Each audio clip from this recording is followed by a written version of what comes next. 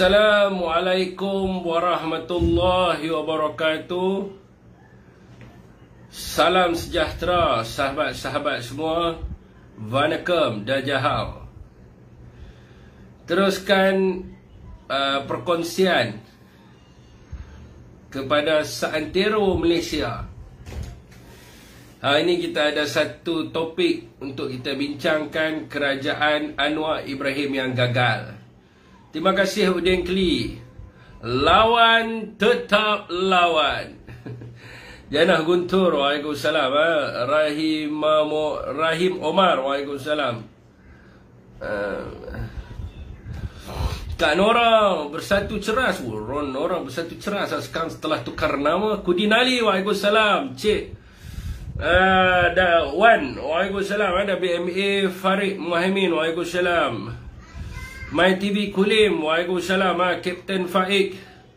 Ha, Songkok dah buruk tu. Ha. Siapa nak beli baru Mainlah hantar. Saya suka pakai songkok. Malik Hidir Waalaikumsalam. Muhammad Taufik. Azmi Puan Seman ha. Waalaikumsalam Kepada sesiapa saja yang memberikan salam Teruskan perkongsian. Hari ini kita nak membicarakan Sudahlah. Pengikut-pengikut kepada Bang Non Sudahlah nak menegakkan benang yang basah. Malaysia sedang tenat sekarang ini. Rakyat Malaysia sedang derita. Rakyat Malaysia sedang terhina. Rakyat Malaysia sedang susah. Janganlah lagi kamu nak menegakkan kerajaan yang gagal ini. Cukup, cukuplah pengikut-pengikut Walanon, pengikut Bang Non. Cukuplah, cukuplah. Dan ketap suban kamu kepada Jinon. Ha, hari ni kita ada nama baru untuk dia, Jinon. Jinon ni maknanya apa? Gagal Non. And Jin Non. ha, Okey, tuan-tuan. Ha? Cukuplah, tak perlulah kamu nak bersujud atas gambar. Apa nama ni, Bang Non. Tak perlulah kamu uh, nak semayang atas muka Bang Non kamu tu. Aduka Munaka. Waalaikumsalam. Eh. Terima kasih. And, uh, Jin Non. Eh. uh, Jinon. Uh, ada nama baru untuk dia. Jinon. Eh.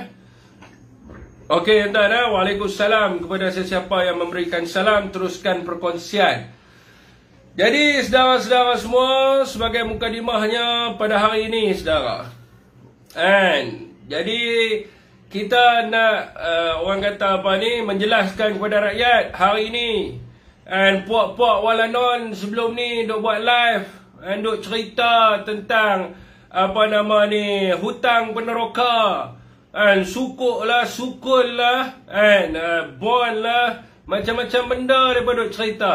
And last kali and mereka punya presiden kena saman dengan abah kita Abah kita saman dia. Sebab apa? Sebab penipu. Kan? Jadi itulah tuan-tuan. Eh? Sesedara semua. Jinon-jinon. Kan? Saya nak bagi tahu kita dah trademarkkan dia sebagai apa? Kan? Sebagai maha penipu tuan-tuan. Eh? Ah, eh, salah pula dah. Ah, mana dia gambar? Ah, ini dia tuan-tuan. Eh? Kita dah trademarkkan dia ah, sebagai penipu bapa scam negara. And uh, di sebelah sana tak nampak, hamba nampak tapak tangan saya saja. nampak tak nampak. Kita dah trademarkkan dia sebagai penipu. Uh, jadi hari ini Tan Sri dah saman dia. Okey tuan-tuan, eh, saya baca sedikit fakta kes. And untuk pengetahuan saudara semua, tapi tolonglah share. And kalau tuan-tuan tak share macam mana saya nak semangat di sini macam mana rakan-rakan kita yang mungkin terundi jinan ni. Dia terundi jinan sebab apa? Orang tanya sebab apa undi jinan? Saya terundi jinan. Macam mana boleh terundi jinan ni? Uh, sebab saya tak dengar. Mereka tak apa nama tak pernah dengar pun kata dia ni duk ceramah habaq kata jangan undi jinan. Uh, jadi kalau tak kalau tak macam penguin. Kalau tak orang kata apa rakan-rakan semua tak share. Kalau ada orang yang terundi jinan ni. Ha, maka susahlah. Kan? Ha, jadi kalau Aladdin dia ada jini jin. Kan? Jadi ha, apa nama ni orang kata apa. Di Malaysia ni kerajaan Madanon kita ada jinon. jinon dengan kan? Aladdin punya jin tu sama je lah. Dua-dua jin. Ha, tapi satu jin penipu lah. And uh, jin janji, jin penipu. Okey, tuan-tuan. Eh? share lagi saudara-saudara semua. Teruskan tekan butang share tu. Eh? Kim Jinon. Okey, tuan-tuan. Eh? Fakta kes. And hari ini Tan Sri telah pun memfailkan saman kepada Jinon. Eh? Ah, di mana fakta kesnya perlupusan hutang peneraka Felda berjumlah 8.3 bilion dilakukan oleh Tan Sri Muhyiddin Yassin semasa menjadi Perdana Menteri sejak 2020 hingga 2021 dan faedah daripada insentif penghapusan hutang ini telah pun dinikmati oleh peneroka-peneroka Felda yang mana telah pun ada dalam slip mereka. Handset Parlimen pada tahun 2021 dengan jelas dinyatakan oleh Menteri di Jabatan Perdana Menteri. Dan iaitu Menteri Ekonomi kita yang berhormat Datuk Seri Mustafa Muhammad. Dia menyatakan bahawa 87.54% daripada keseluruhan hutang peneroka Felda telah pun and apa nama 87.54% daripada keseluruhan penoka Felda telah pun menandatangani perjanjian penghapusan pinjaman dan pengurusan pekebun antara Felda dan juga peneroka. Perkara sama juga saudara semua diulang dan disahkan oleh Yang Berhormat Datuk Seri Azalina di Parlimen pada 23 Februari 2023 di mana dengan jelas dinyatakan bahawa hutang peneroka telah pun diluluskan pada Julai 2021 dan pada 24 hari bulan Februari 2023 pengurusi Felda Tan Sri Idris Yusof mengeluarkan kenyataan dengan menyatakan dengan jelas RM 8.3 bilion hutang peneroka daripada 12.1 bilion telah selesai dilaksanakan sejak 2021. Jadi saudara teruskan perkongsian dulu saudara semua. Jadi dan kenyataan fitnah menipu, membohong yang telah dilakukan oleh PMX ini dan Jinon ini dan sangat jelas apabila beliau berucap semasa hari peneroka Felda 2023 di mana beliau telah membohong menipu, mendusta. Jadi begitulah dengan gelaran beliau sekarang ini dipanggil sebagai jinon menipu ini. Beliau telah pun mengeluarkan kenyataan yang ternyata palsu dan mengelirukan apabila mengatakan hutang peneroka 8.3 bilion belum diluluskan. Dan dia klaim saudara-saudara semua, and Jinon kata dia yang telah pun mengambil tindakan untuk melupuskan hutang tersebut pada Jun 2023 semasa beliau menjadi Menteri Kewangan.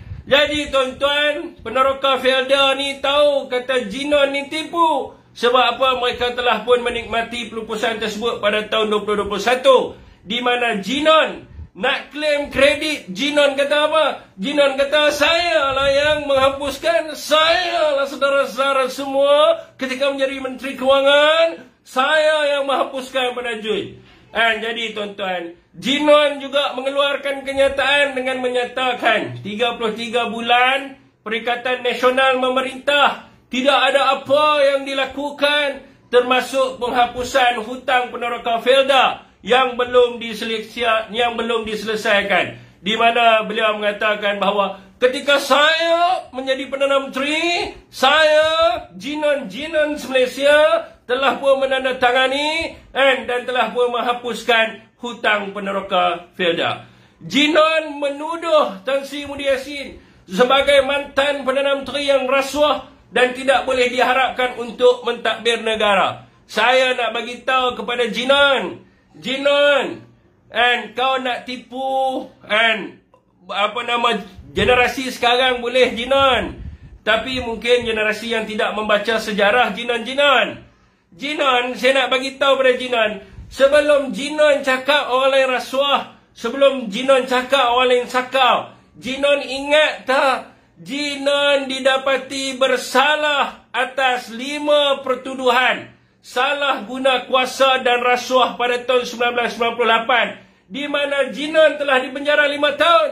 Jinon adalah banduan rasuah yang bercakap soal rasuah di manakah integriti Jinon telah pun didapati bersalah dalam prinsip di negara kita innocent until proven guilty dan kalau seseorang tu belum bersalah maka dia belum bersalah biarkan mahkamah yang tentukan tapi kalau yang telah didapati bersalah contohnya macam Jinon Jinon 1998 sebelum upacara mengangkat hilam dan sebagainya. Jinan didapati bersalah dalam kes rasuah dan salah guna kuasa. Jadi layakkah Jinan nak cakap soal integriti? Jadi saya nak cakap pada Jinan balik rumah tengok cermin lah Jinan. And jadi tuan-tuan dalam penyata saman Tan Sri. Tan Sri memohon supaya Jinan menarik kenyataan tersebut dan memohon maaf serta memperbetulkan fakta yang sebenar. Jadi kita tunggulah Jinan dibawa ke mahkamah tuan-tuan. Eh? Ah, ada lagi puak-puak jinan yang kata saya fitnah. Fitnah ke mana? Kamu ni tak tahu ke? Kan? 1998 yang mendapat pengampunan tu adalah pendakwaan 2014. Jadi benda tu kita tak mau ceritalah. Dia liwat ke dia tak liwat ke dia dah dapat pengampunan. Hak tu yang per, yang kedua. Yang pertama dia rasuah. Salah guna kuasa. Janganlah kita nafikan benda ni. Eh, cuba buka. Taik tengok dekat mahkamah. Eh, kesalahan pertama dia. Tahun 1998. Lima pertuduhan. Apa dia? Eh, rasuah salah guna kuasa. Kalau tak betul, bawa ke mahkamah balik. Eh, rakyat Malaysia menyokong. Bawa ke mahkamah. Bawa bukti enam kotak, tujuh kotak. Bawa bukti. Bagi tahu kata dia bukan seorang perasuah. Dan yang kes yang uh, liwat tu adalah 2014. Yang tu ialah dapat pengampunan. Hak tu memang kita tak bicarakan sebab dia dapat pengampunan penuh. Tak apalah saya tak bicara soal tu. Saya bicara soal rasuah. Kan? Uh, Okey tuan-tuan. Eh? Jadi tuan-tuan sudah-sudahlah menegakkan benang yang basah. Saya nak bagi tahu kat Jinon. Jinon. Kan? Saya nak bagi tahu. Rakyat hari ini kan tertekan ekonomi negara teruk kan tahu tak ekonomi negara ni teruk saya nak bagi tahu kat Jinon cuba Jinon type di bawah tu Syafiq bagi kat saya satu and fact yang mengatakan ekonomi teruk ha, saya nak tanya mana-mana Jinon yang minta pada saya fakta saya akan bagi pada malam ni fakta yang mengatakan kerajaan hari ini gagal gagal Ha, mana Jinon? Jinon type ah. Ha? ha? saya baca Jinon. Mana ada Jinon Jinon? Ha, Jinon mana Jinon? Ha, pengikut-pengikut kepada Jinon. Ha, mana dia pengikut Jinon? Apa yang gagal tu? Ha, mana dia lagi? Cepat-cepat pengikut Jinon. Tolong type tanya saya. Tanya saya. Cabar saya. Syafiq bagi fakta kata kerajaan hari ini gagal. Bagi tahu kepada saya. Eh, cabar saya. Eh, kalau jinon cabar saya, maka saya akan ceritakan. Sebelum tu share dulu saudara-saudara semua. Kan? Uh. Okey, tuan-tuan, eh, saya nak bagi tahu pada jinon. saya nak bagi tahu pada jinon. Ni ada seorang jinon nak naik kot. Saya kita tanya dulu. Mantan Bilal dua. Uh, sebelum kita pergi pada topik yang kedua. Assalamualaikum. Assalamualaikum. Assalamualaikum. Waalaikumsalam warahmatullahi wabarakatuh. Ya, ada apa mantan Bilal? Ah, siapa yang cakap? Ah. Uh, kalau nak tahu kata gagal ataupun tak, duduk kat bawah nanti saya cerita. Boleh? Tak payah, memang saya dah tahu dia gagal dah. Okey, mantan Bilal. Apa nama saya nak bagi penerangan dulu lepas ni kita sembang boleh ha? Ah, boleh boleh. Saya memang nak nak bagi tahu gagal memang banyak dah gagal ni. Okey, mantan. Tak gagal, memang gagal dah. Ah, itu dia rakyat marah ha. Awak dah gagal. Okey, mantan Bilal. Assalamualaikum. Waalaikumsalam Ah. Jadi inilah soal rakyat tuan-tuan eh. Bukan sahaja penipu. Kan, penipu yang gagal. Kan, ah, jinon-jinon ni saya nak bagi tahu Mengikut laporan The Institute of Chartered Accountant in England and Wales and ICAEW dan source is Asia. Economic Insight Report. Ha, ni saya bagi ni. And kepada jinan-jinan supaya jinan pergi baca.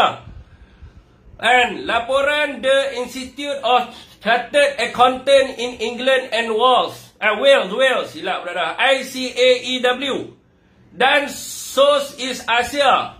And Economic Insight Report. Ha, pergi tengok report ni. Dua ni baca. Dikatakan GDP Malaysia menurun pada suku tahun pertama 5.6% kepada 2.6% pada suku tahun yang kedua kerana prestasi ekspor yang sangat lemah serta pelaburan yang berkurang, berkurangan. Jadi macam mana ni Jinan? Jinan duk buat live malam-malam, duk ceritakan rakyat kata ekspor kita meningkat secara Patutlah harga sawit jatuh. Patutlah peneroka marah sampai jinan terpaksa pergi bagi tahu dekat peneroka, saya, saya dan saudara-saudara peneroka, saya lah yang menghapuskan hutang Felda. Saya, Jinon, semenjak saya menjadi menteri MOF Jinon dan saya yang menghapuskan hutang peneroka. Sebab apa? Sebab gagal saudara. Gagal ekspor menurun. Patutlah harga sawit menurun saudara. Dan prestasi ekspor yang sangat lemah. Serta pelaburan yang berkurangan. Itu pun jinan. Sebab itu dia kerja klaimnya tuan-tuan. Sesama apa nama ni saudara semua. Saya yang membawa masuk pelaburan daripada AWS. Saya, ada mesti sengau sikit ni. Saya juga lah yang bawa masuk pelaburan daripada uh, apa Zhangjiang Heli. Sedangkan semua orang tahu pelaburan tersebut dibawa masuk oleh Datuk Azmin Ali, Datuk Seri Azmin Ali. Dan kalau apa Zhangjiang Heli dibawa masuk oleh Najib Razak sejak tahun 2015, tapi Jinan Kan dia umum semula. Saya saudara saya Jinon sebagai Perdana Menteri mengumumkan pelaburan 71 bilion. Dan saudara saya nak bagi tahu dalam 71 bilion tu 25.5 bilion adalah pelaburan yang dibawa masuk oleh Datuk Seri Azmin Ali melalui syarikat Amazon Web Service AWS dan 36.5 bilion adalah daripada Anzijan Heli yang dibawa masuk oleh Datuk Seri Najib Razak. Maka Anjinon tak buat kerja, pergi berjalan sana sini sesedara, naik helikopter dan diumumkan pelaburan masuk. Sedangkan prestasi dilaporkan GDP Malaysia menurun sebanyak dua eh, sebanyak 3% daripada 5.6 kepada 2.6. Dan untuk pengetahuan saudara semua, GDP suku tahun kedua 2021 semasa Tan Sri Muhyiddin Yassin menjadi Perdana Menteri saat itu kita kena dengan COVID-nya dengan segala-galanya tetapi GDP kita meningkat saudara tertinggi dalam tempoh masa 5 tahun iaitu sebanyak 16.2%. And manakala pada tahun 2022, suku kedua 2022, kita punya GDP sebanyak 8.8% dengan peningkatan ekspor pada suku tahun kedua 2021 sebanyak 37% dan suku tahun uh, uh, kedua 2022 sebanyak 15.5% eh 15.9% berbanding semasa Jinon menjadi Perdana Menteri ekspor kita jatuh di bawah paras negatif saudara pada suku tahun pertama semasa Jinon menjadi Perdana Menteri ekspor kita jatuh turun kepada negatif 3.3%.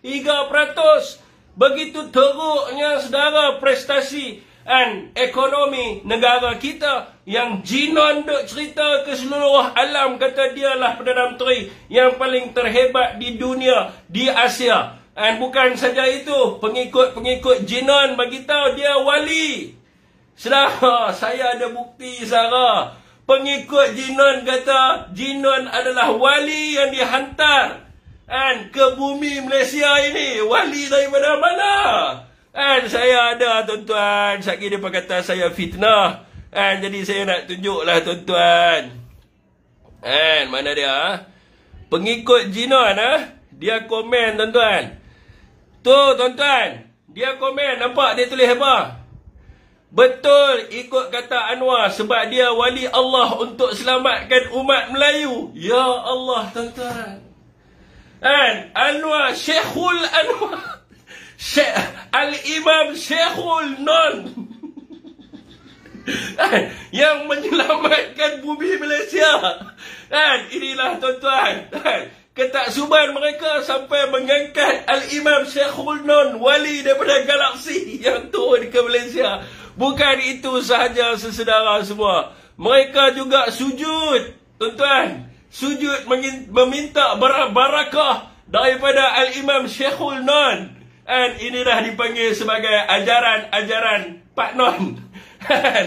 ajaran Pak Non, tuan-tuan. Eh?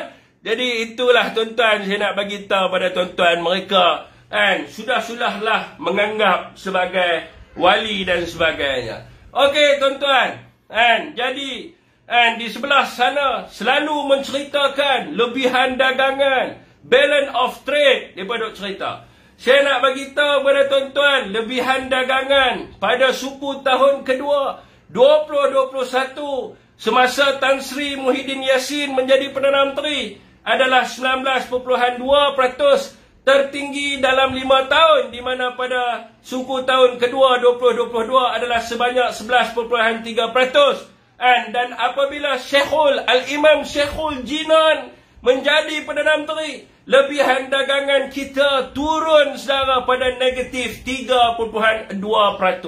Inilah yang menyebabkan kepada prestasi ekonomi negara kita semakin merudum saudara. Rakyat semakin tertekan pelaburan asing keluar daripada negara kita. Di mana buktinya dan pelabur-pelabur ini tidak yakin kepada Al Al-Imam Syekhul Jinan ini saudara pada tarikh pembubaran parlimen. Indeks FBM KLCI adalah 1451.72. Di mana sekarang ini saudara Indeks FBM KLCI jatuh 48.69 mata kepada 1403.03. Walaupun Al-Imam Syekhul Jinan dan bercakap soal tata kelola, mencerakinkan wewenang dan sebagainya. Tetapi pelabur-pelabur tidak yakin dengan wali yang diturunkan oleh Pakatan Harapan ke Malaysia ini. Sebab apa? Sebab kita tak yakin itu bukan wali Allah. Kan? Itu adalah wali hope, wali harapan dipanggil. Ataupun wali no hope. Kan? Wali tidak ada harapan. Jadi tuan-tuan, Bursa Malaysia melaporkan pada 10 Julai 2023, pelaburan asing, pelabur-pelabur asing telah menjual saham Malaysia di saham mereka di Malaysia. Dan selama 12 minggu berturut-turut dengan jumlah pelaburan asing yang dijual secara bersih mencecah RM254.1 juta. Maka walaupun wali yang dihantar oleh Pakatan Harapan ini Al-Imam Syekhul Jinan pelabur tidak yakin dengan prestasi dan tidak yakin dengan kepimpinan wali harapan ini. Kerana apa? Kerana wali ini tidak ada harapan. Sebab Al-Imam Syekhul Jinan ini adalah seorang yang suka menipu, munafik, memanipulasikan fakta, fitnah, tidak fokus dalam pentadbiran negara. Tetapi sibuk berpolitik 24 jam.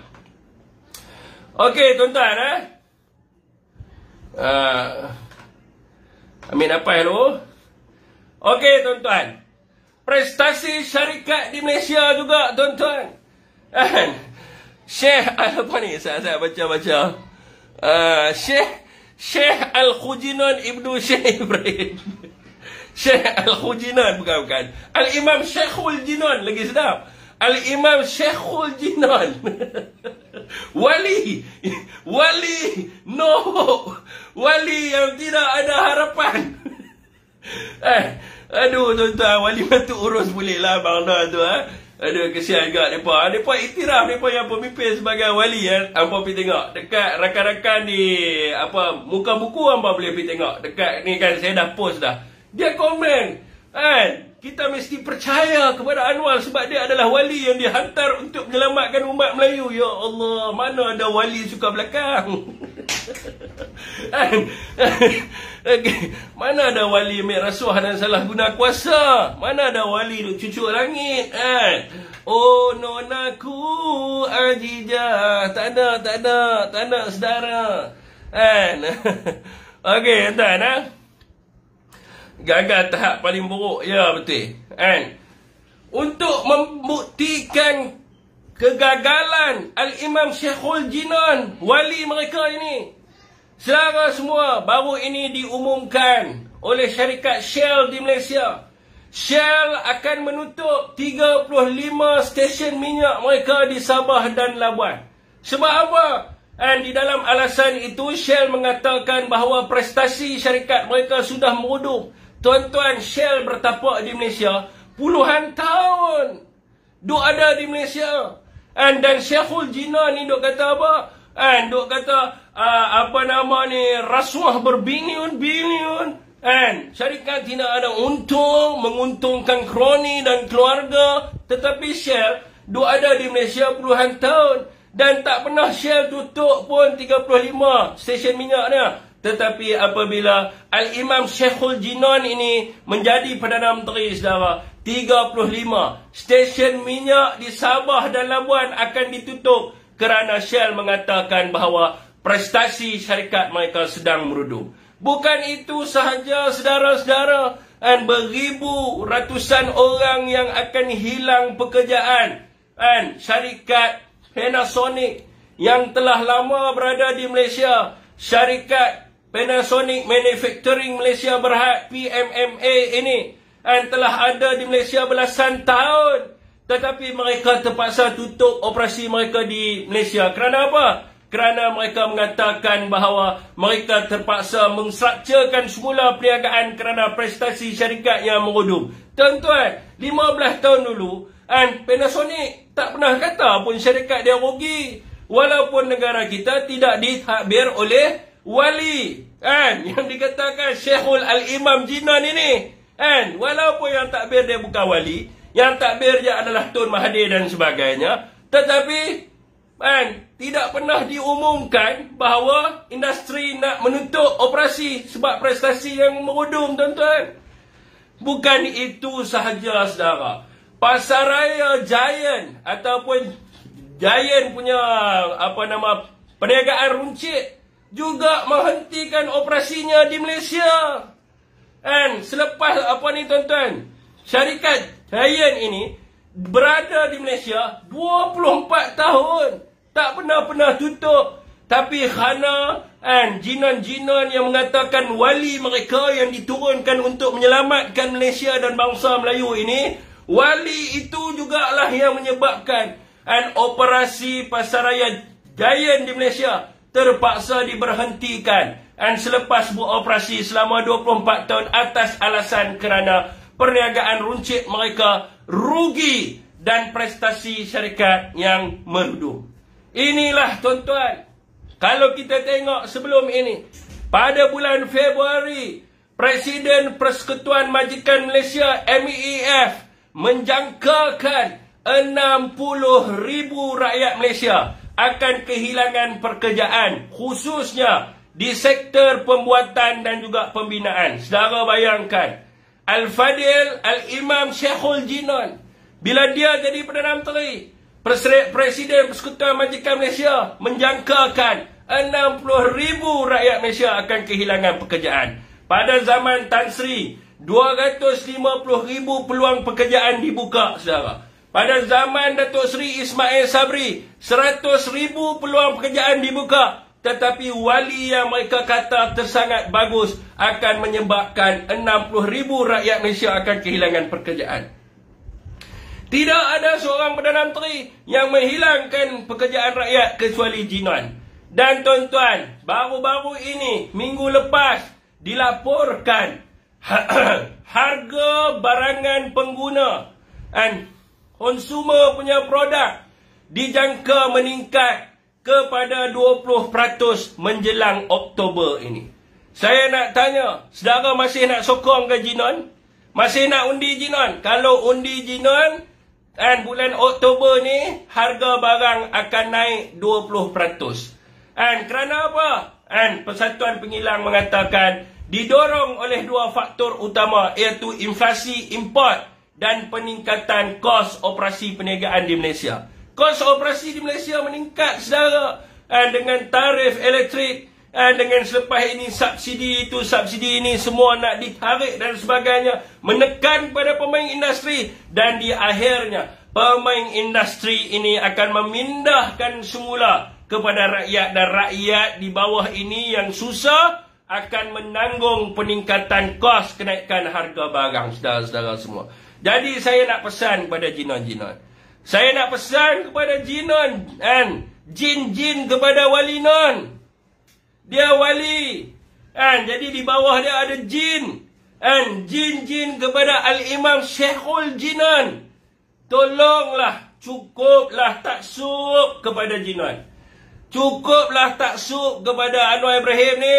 Sampai nak sujud kat gambar dia dan sebagainya. Ketak suban anda, anda boleh gantung gambar dia di rumah. Kalau khana pengikut jinan ni suka tengok dia, boleh gantung gambar dia. Tengok di rumah. Tak ada masalah apa. Tapi jangan susahkan rakyat. Sebab kebanyakan pengikut kepada Anwar Ibrahim ni. Mereka ni tak suk kepada Anwar. Mereka suka tengok muka Anwar. Mereka suka dengar Anwar cakap. Mereka tak kisah pun. Anwar berjaya takbir negara. Ataupun tak berjaya takbir negara. Mereka tak kisah. Asalkan Anwar duduk di atas tu. Jadi ambillah gambar Anwar. Letak di rumah. Supaya tak jadi masalah kepada rakyat yang lain. Cukuplah tak suk pada Anwar sedangkan negara kita sedang merudum kepada kehancuran ekonomi. Kita sedang pergi kepada ke arah kehancuran ekonomi. Tolonglah share rakan-rakan semua. Saya tengah cakap ni. Kan? Jadi kita tengah pergi ke arah kehancuran ekonomi. Ramai rakyat yang akan terjejas. Ramai rakyat yang akan menderita. Tapi anda masih tak suk sujud kepada dia. Sedangkan dia membawa masalah dan dia membawa malapetaka kepada kita. Kita terseksa. Kita ni derita saudara semua. Penyokong Anwar perlu sedar. Anwar adalah Perdana Menteri yang paling gagal dalam sejarah Malaysia. Paling gagal tuan-tuan. Dalam sejarah Malaysia. Tuan-tuan boleh tengok statistik. Saya buka statistik dari import-export. Ekspor paling rendah dalam sejarah Malaysia. And apa nama ni? Apa lebihan dagangan paling rendah bursa jatuh merudum paling gagal antara Perdana Menteri semua dialah yang paling gagal segagal-gagalnya tolonglah pengikut-pengikut pada Jinon jangan susahkan rakyat ni semua rakyat sedang derita rakyat terseksa. Janganlah kamu kan uh, orang kata apa ni? Apa nama ni? Orang kata apa? Seksa rakyat uh, dengan ketak suban kamu kepada Jinon Okey tuan-tuan dah Pilihan raya enam negeri menjadi penentu nasib kepada Anwar Ibrahim. Pesanan saya kepada rakan-rakan, saya mendapat maklumat daripada sumber yang dirahsiakan dan tidak dikenali oleh saudara semua.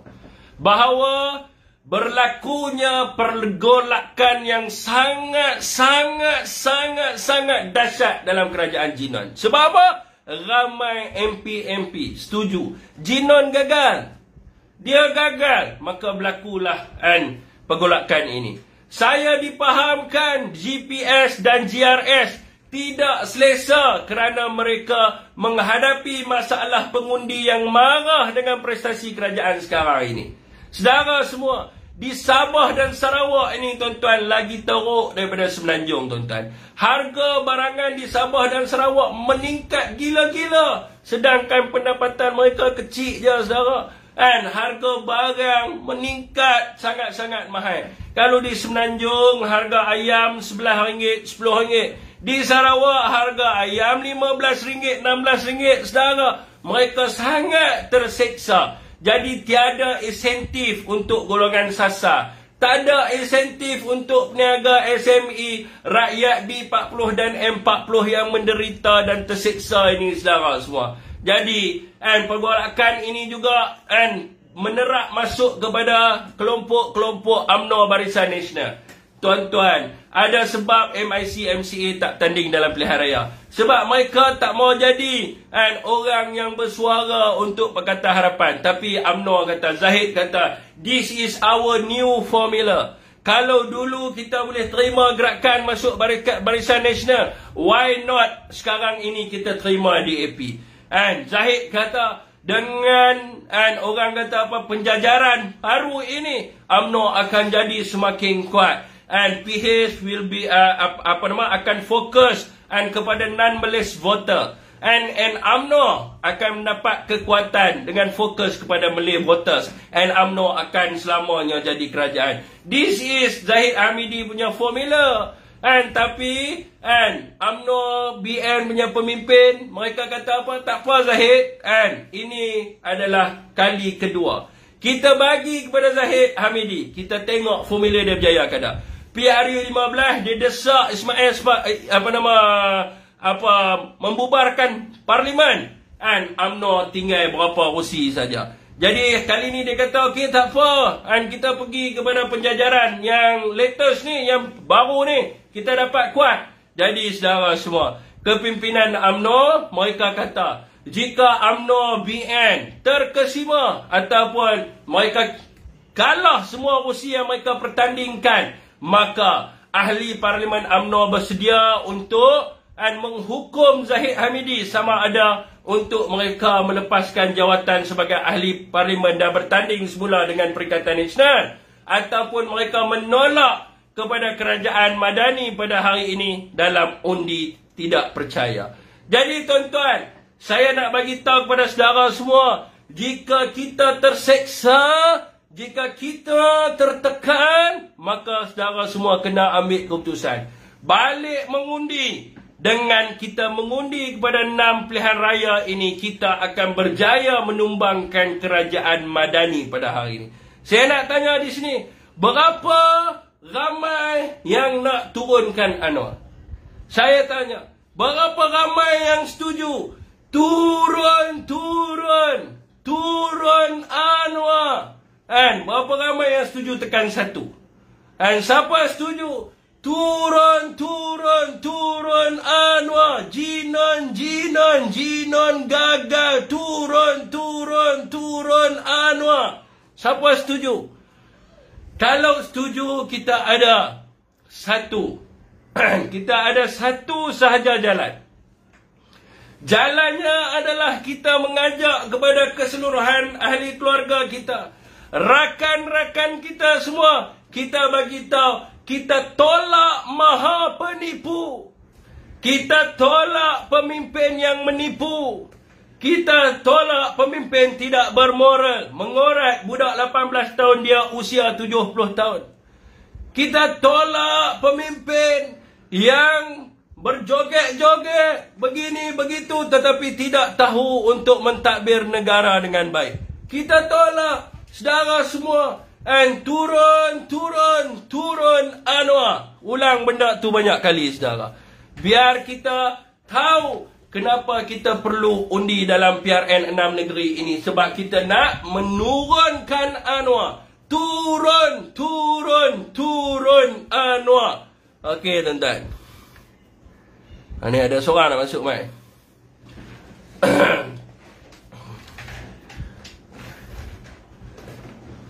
Assalamualaikum.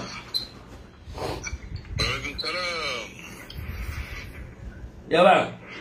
Waalaikumsalam. Ya. Tanya, tanya, tanya berjaya promote, promote. Ya, ya. Ha. Itulah, itulah nak cakap tanya-tanya. Allah know who you are. Hmm. No apa? Who? Who? Who am I? Allah know who am I. Of course lah. Allah tahu siapa saya. Saya kan makhluk dia. Takkanlah Allah subhanahu wa ta'ala tak tahu makhluk dia macam mana. Of course lah. Kan? Betul tak saudara? Terus turun. Saya tak kick tiba-tiba turun eh. Ha. Okey tuan, siapa lagi nak berbisi? Betul Fi. Allah kata dalam surah apa? Akulah mentadbir dua timur dan dua barat. Of course lah dia tahu. Kan? Dia tahu siapa Jinan. Dia tahu siapa Syafiq Alim. Kan? Dalam surah Al-Iftitah kot Allah sebut. Aku letakkan siapa? Apa? Kiriman dan hatiban. Kan? Sam pencatik. Untuk mencatik segala apa yang dilakukan oleh manusia. Kan? Jadi of course lah. So you tak perlu bagi tahu saya. And of course I know that Allah mengetahui siapakah and apa nama dia punya tu. Uh, makhluk dia. And man antum waliman antum siapa diri kamu dan kepada siapa diri kamu. Kita ingat yang tu sudah lah. And jadi kita tengok juga pentadbiran hari ini. And pentadbiran hari ini lakonan. Namanya Madani. And tapi adakah dia membuat segala-galanya sebagaimana yang dituntut oleh Islam? And Kita tengok sendiri kan rakyat hari ini tersiksa. Rakyat hari ini tertekan. Kan semua orang tahu. Saya nak cakap pada tuan-tuan. Kan saya ni uh, tadi petang dalam live apa nama Puan Hopi. Kan apa saya cakap tadi petang? Saya tadi petang saya keluar. Kan member saya kata dia nak jumpa saya. Kan nak jumpa saya tuan-tuan. Dia tanya nak buat apa? Nak pinjam duit. Kan nak pinjam duit sebab apa? Kan? Sebab nak beli tong gas niaga burger. Kan? Dia kata dalam 2-3 hari untung nanti aku bagi baliklah kat hang. Kan? Duit tu. Kan? Saya kata aku pun bukannya ada sangat. Sesak juga. Dia kata tolonglah kalau tak ada ni nak berniaga tak boleh. Nak berniaga tak boleh macam mana? Nak belah nak bini. Jadi tuan-tuan orang berniaga hari ni pun teruk tuan-tuan. Sampai nak beli tong gas pun tak mampu. Rolling tak cukup dah. Kan? Orang berniaga hari ni. Bukan itu saja tuan-tuan. Tuan-tuan pernah dengar tak? Eh, apa nama pernah tengok tak sebelum ni? Kan? Anak-anak wanita. Eh, anak-anak wanita. Apa nama? Orang perempuan yang buat lalamu. Yang buat grab. Pernah tengok tak? Hari ni tuan-tuan saya turun. Kan? Pagi-pagi saya tengok. Orang perempuan angkat kotak tuan-tuan. Angkat kotak, angkat barang ni. Kan bila kita pergi tanya adik sebab apa ni kerja macam ni kan tak sesuai kerja untuk lelaki ni. Dia kata apa bang? Kalau tak kerja siapa nak tanggung keluarga? Lah bini orang. Kan bini pasang kat kotak apa semua. Buat lalamu nak bantu lelaki. Sebab apa? Sebab lelaki kerja seorang tak cukup duit. Khususnya di Penang di Selangor ni. Kan kita pada zaman Tan Sri tu walaupun and kita kena covid apa semua. And kena dengan tutup kilang. Tapi kita tak terjejas pekerjaan kita. Hari ni tuan-tuan nak minta kerja pun susah. Eh tak tuan-tuan? Yang yang pasal burger tu dia call. Hak saya jumpa tadi pasal dia nak hantar ni. Dia nak hantar ha, cerita dia macam ni. Dia ni and dia punya anak dia baru habis SPM baru habis SPM kan STP antara dua tu lah saya pun tak ingat dia nak jumpa saya. Nak minta beli laptop. Nak nak pinjam lah. Kan? Kata Fik ada. Ada 2-3 ribu abang nak pinjam.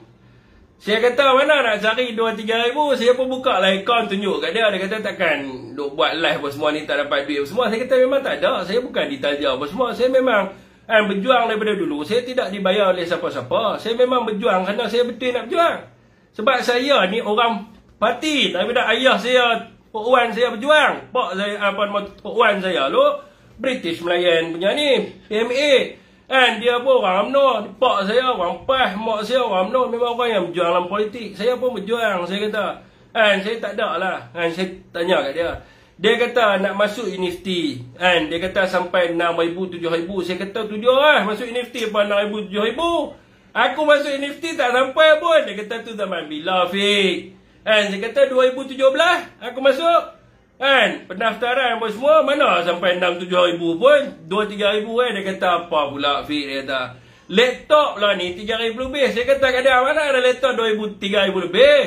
Eh, masa dia aku pergi cari kat hang, saya pun call member tuan-tuan. Tak dapat, betul. Laptop 3 ribu lebih lah ni. 2 ribu, 3 ribu lebih lah, lebih kurang lah. Kan, 3 ribu lebih. Kan, lepas tu nak masuk dengan bayar sewa, bayar wang pendaftaran. Cecah 5 ribu, 6 ribu. Mak bapak nak cari duit mana? Nak cari duit mana? Jadi saya percayalah. Kan bila kata orang kata sampai anak nak belajar tak boleh. Kan? Sebab duit tak ada tuan-tuan. Nak.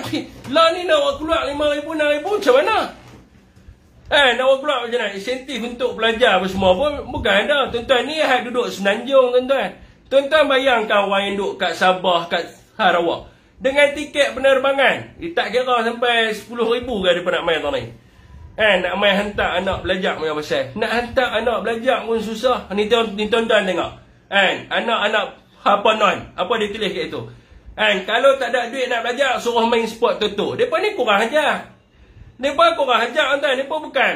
Mereka rasa bila mereka dah jadi kerajaan, kan, mereka kena menegakkan benang yang basah. Saya nak bagi tahu. Saya orang percaya saya ni tak berjuang kerana duit sebab apa?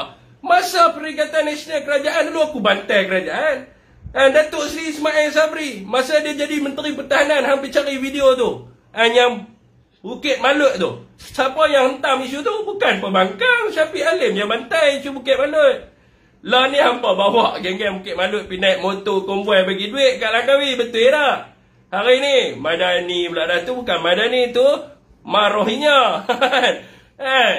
Kita lawan dulu. Siapa tak kena? Kan? Video tu saya pakai lebay. Duduk dekat pondok pada waktu tu. Ah, kita lawan waktu tu kerajaan. Bukan kita ni duduk belah apa bangkang. Kita lawan. Masa zaman Datuk Seri Ismail Habri jadi kerajaan. Saya siap resign jawatan kerajaan ni sebab apa? Sebab tak setuju dengan kenaikan tarif elektrik. Ya pun. And sebab menekan rakyat. Saya terlibat dalam mesyuarat tu. And saya malam tu saya balik buat live. And mereka masukkan saya dalam satu mesyuarat jawatan kuasa. And kata, oh mendedahkan maklumat mesyuarat. Saya kata, ni, ni sebabkan rakyat. Kan, rakyat yang tertekan. Kan, saya resign. No ada masalah apa. Sebab waktu tu kita memang duduk sebelah, di sebelah rakyat. Bukan kita duduk macam mereka. Mereka ni makan gaji. Kan, jadi cyber trooper. Kan, jadi akal mereka tak ada lah. Lah ni mereka seronok lah. Kan, jadi mereka ni pun susah tuan-tuan. Orang-orang fikir, ah, ni bukan ada duit pun. Saya bagi tahu dah tuan-tuan, mereka ni bukan ada duit pun. Sebab tu yang mereka buat apa pun bila menteri tak bagi mereka duit. Depa abang kata apa nak hentam kerajaan sebab duit tak ada. Depa ni bukan ada duit pun tapi depa sombong. Eh, depa sombong lebih. Depa ni miskin. Adanya hutang orang tak bayar. Oh, ada. Bukan tak ada. Tuan, kita tahu ah semua dia punya maklumat dan semua kita tahu kan kita tak tahu. Kan, dia hutang orang tak bayar. Oh, ada. Kan, jadi kan apa nama mereka ni terlampau hatsuk ni yang jadi masalah dia. Kan, itu saya sebut tadi belajar tuan-tuan. Tu yang saya sebut tadi tu and apa buat lala move tu orang rumah orang. Lah ni ada pula dia panggil grab husband and wife. Mana pernah dengar grab husband and wife? Benda ni sebelum ni pernah kita ceritakan kat Halal Live ni. Apa benda grab husband and wife ni? Kan? Anak-anak papa bukan tahu disebabkan oleh tidak ada masa. Tidak ada masa nak duduk di rumah, tak ada masa dengan isteri. Maka isteri bantu suami buat grab. Mereka buat macam mana? Kan? Apa nama? Motor naik dua orang. Kan? Laki bawa motor jadi driver. Bini pergi ambil makan, pergi hantar makan. Husband and wife grab. Kerja daripada pukul 8, balik pukul 5. Kan? Lepas tu rehat saat di rumah, makan semua. Lepas tu keluar buat grab. Sebab apa berlaku benda tu? Kan? Kita buat pecahan pendapatan tuan-tuan. Kalau dia gaji 2000 lah. Sebagai contoh dia gaji 2000. Sewa rumah di Selangor, Pulau Pinang, Kuala Lumpur berapa? Minimum 1000 kan.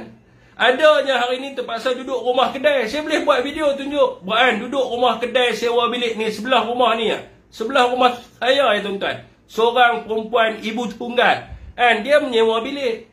And mix semua. India ada, Cina ada, Melayu ada. Sewa bilik dua sekali. Sebelah rumah saya. Ya, bukan jauh pun. Hari-hari saya duduk tengok dia pergi hantar anak dia sekolah. And saat saya tengok India keluar rumah. Saat Cina keluar rumah. Rupa-rupanya dia sewa bilik. And sebab apa? Kesusahan tuan-tuan. Gaji RM2,000, RM1,000 bayar sewa. RM500 and bayar apa nama kereta. Bela RM500. Nak beli barang rumah hari ni pun RM500. Nak bayar bil telefon, nak beli apa barang-barang sekolah ke anak, nak bayar duit LRT, duit minyak. Jadi terpaksa buat macam mana tuan-tuan? Hari-hari makan beras dengan telur lah. Kan? Makan nasi dengan telur. Sebab tu zaman sekarang ni ada orang makan nasi dengan garam pun. Kan? Sebab apa susah tuan-tuan? Hari ni, tuan-tuan tengok bukan saya fitnah. diiktiraf oleh Hekom sendiri. Dia bawa keluar tu. Dia Hekom bawa keluar perbelanjaan rumah sebulan. Bukan kita fitnah. Hekom ni di bawah Jabatan Perdana Menteri. Dia kata apa? Beli beras, ayam, minyak, gas uh, dengan telur RM500. Betul? Memang hari ni orang beli ayam, and beli beras, beli gas, beli minyak dengan telur RM500. Memang betul hakikat yang sebenarnya. Sebulan makan RM500 saudara. Kan lepas tu nak pi lepas tu dia bukannya masak macam tu ya yang bukan bubuh dalam minyak. Nak kena perancah, nak kena perasa, sos semua. Kan barang-barang kering ni sampai 200 300. Nak belanja barang rumah saja RM800. Tuan-tuan, saya pi beli barang rumah saya tahulah. Setiap kali pi beli RM800, tu tak masuk tolak apa nama PTPTN lagi. Kan hari tu Bang Non janji kata nak hapuskan PTPTN. Kan PTPTN hapus tak? Tak hapuskan PTPTN. Tol pun tak hapus. Kan kata nak hapuskan tol, nak tiket penerbangan RM199. Tuan-tuan, mereka ni penipu. Penipu yang amat pembohong, pendusta. Tak pandai takbir negara. Tuan-tuan, tujuh bulan takbir negara. Tidak ada blueprint. Tak tahu nak buat negara pergi ke arah mana. Kementerian ni, tuan-tuan tanya kat saya satu-satu kementerian. Dan di bawah Kementerian Wanita dan Masyarakat. Dia buat apa? Sekali je. Sepanjang tujuh bulan, satu je pengumuman. Nak bagi suala wanita percuma dekat pejabat menteri. Habis tu lain, dia buat apa? Dulu semasa yang berhormat Rina Harun kan jadi menteri, dia ada buat program wanita bangkit kan skuad wajah kan memantapkan ekonomi wanita kan wanita yang mana nak start berniaga dan sebagainya kerajaan bagi suntikan duit kan kan yang uh, apa nama yang jadi suri rumah dan sebagainya suruh berniaga banyak wanita yang berjaya dalam program wanita bangkit yang hari ini mereka jadi peniaga-peniaga yang berjaya. Pada zaman siapa? Rina Harun. Kan lah ni apa mereka buat kementerian wanita ni? Bagi pek je orang perempuan ni susah single mom. Adakah mereka melihat kepada kedudukan wanita? Kan tak payah tanya data lah. Orang pun tahu Kementerian Wanita pun tak buat apa. Seluruh masyarakat di Malaysia tahu program wanita bangkit dilancarkan di setiap negeri seluruh Malaysia. Kita bagi duit seribu ringgit kalau tak silap saya. Kan? Kita bagi duit pada mereka. Untuk dia wanita ni terlibat di dalam program apa jendela untuk dia buat bisnes secara online dan sebagainya. Ini masa zaman Perikatan Nasional. Mereka duk kata, kata mereka ni hebat sangat. Apa mereka buat? Di bawah Kementerian Belia dan Sukan. Buat apa saudara? Saya nak tanya. Menteri boleh buat live tiap-tiap malam. Tak ada kerja. Boleh buat podcast tiap-tiap malam. Pada zaman Wan apa YB Waf dulu, banyak kita tengok kan mewujudkan kepada platform e-sport. Ramai anak muda yang kita hantar pergi luar negara yang terjebak dengan eh, yang terlibat dalam sukan e-sport ini. Pada zaman YB Muhammad Faizal, Ha, lepas tu kita memantapkan sukan negara. Hari ni atlet kita pun mengudu mood tak ada tuan-tuan. Menteri macam haram jadah. Macam mana menteri mood nak ada? Menteri pun serupa dengan darai jalan lembut. Eh pun macam mana atlet ni nak ada uh, semangat nak berjuang? Menteri pun belajar tak habis. Kena buang universiti. Macam mana kita nak ni? Kan macam mana kan atlet-atlet muda ni nak dengar cakap dia? Apa program atlet yang dia buat? Dia pernah tak apa pi turun jumpa dengan atlet-atlet? Dah. Tak ada tuan-tuan. Lepas tu menteri apa lagi? Menteri apa lagi? Menteri apa? Uh, APDN HCP. Kan? Menteri APDN HCP pada zaman Perikatan Nasional dulu Keluarga Malaysia. Kan? Apa kita buat? Kita memantapkan pegawai pemantau harga untuk menyelaraskan harga And ini dia suruh rakyat update. Uh, rakyat update dalam sistem uh, price apa semua ni. Tuan-tuan, di bawah APDN ada berbagai undang-undang. Antaranya adalah Akta Pencatutan. And ada pegawai pemantau harga. Kita pergi memantau harga seluruh negara. Kita panggil agensi. Saya pernah terlibat dalam mesyuarat itu pada waktu itu. Saya pernah memanggil APDN HCP. Dan tanya kepada mereka, apa benda yang mereka buat untuk memastikan harga ni turun dan sebagainya. Kan? Kerajaan ini buat apa? Menteri dia pun kita tak nampak keluar. Kan? Ini menunjukkan kegagalan Perdana Menteri. Perdana Menteri fail. Perdana Menteri tak masuk pejabat. Perdana Menteri tak tak jadi apa nama tak panggil mesyuarat jemaah menteri. Perdana Menteri tak meeting kabinet. Sibuk politik. Macam mana menteri nak perform? Tuan-tuan dalam perlembagaan, menteri ni bertindak secara bersama. Tuan-tuan, depa ni apa dia panggil sebagai bertindak secara bersama lah. Macam mana nak buat keputusan? Menteri MOF pun kerja terbang sana, terbang sini seronok. Kan? Rakyat, kan? saya bagi satu bilion. Tuan-tuan, umum merata. Di Terengganu satu bilion, di Kedah satu bilion, di sana satu bilion, di sini satu bilion. Merata umum. Bila kita tanya kontraktor-kontraktor di bawah, kerja dah dah. Dia kata umum saja baru ni dia kata. Sebab apa? Umum saja siapa boleh umum? Senarai kerja tak keluar. Dan kita bagi satu bilion kat Kelantan. Satu bilion nak buat apa? Apa kerja-kerja yang keluar? Nak menaik taraf apa? Dan loji rawatan naik apa? Kerja tak keluar. Sembang saja tujuan politik. Dan umum satu bilion, dua bilion. Kerja tak keluar. Pilih tanya. Han tanyalah G7 ke, G6 ke, G5 ke. Kan? Kerja apa tak ada? Jin ni ada kerja. Kan? Yang ada kerja jin. Jadi umum merata. Perdana Menteri tak perform. Kan? Gagal Perdana Menteri macam mana? Kan? Apa nama kementerian kementerian ni nak berjaya. Itu bukan kita cerita tentang, itu baru kita cerita tentang tiga kementerian. Belum kita songket lagi. Menteri Ekonomi. Menteri Ekonomi ni tuan-tuan. Dia punya skop dia besar nak fikir tentang ekonomi negara. Duk cerita tak habis-habis fundamental ekonomi. Fundamental ekonomi ni belajar masa zaman SPM. Fundamental ni dalam bahasa mudahnya dipanggil sebagai prinsip asas ekonomi. And supply and demand, insentif. Lepas tu ada, ada, ada apa lagi? Dia ada empat lah semua dalam fundamental ekonomi. Pergi mana-mana duk cerita tu. Fundamental, fundamental, fundamental. Ceritalah satu benda. Tarik pelaburan ke. Bagi orang berminat. Buat satu dasar-dasar yang baik untuk menarik pelaburan asing. Ni duk cerita di mana-mana, ayam mahal jangan makan ayam, and supply and demand, and kalau demand tu uh, bertambah and supply berkurang, maka harga ayam akan naik. Rakyat tahu itu prinsip asas. Prinsip asas budak dah jahannam pun tahu. Eh, takkan menteri duk cerita tentang prinsip asas. Eh, nak mengurangkan ekspor macam mana? Eh, nak meng- menghilangkan kebergantungan kepada apa nama?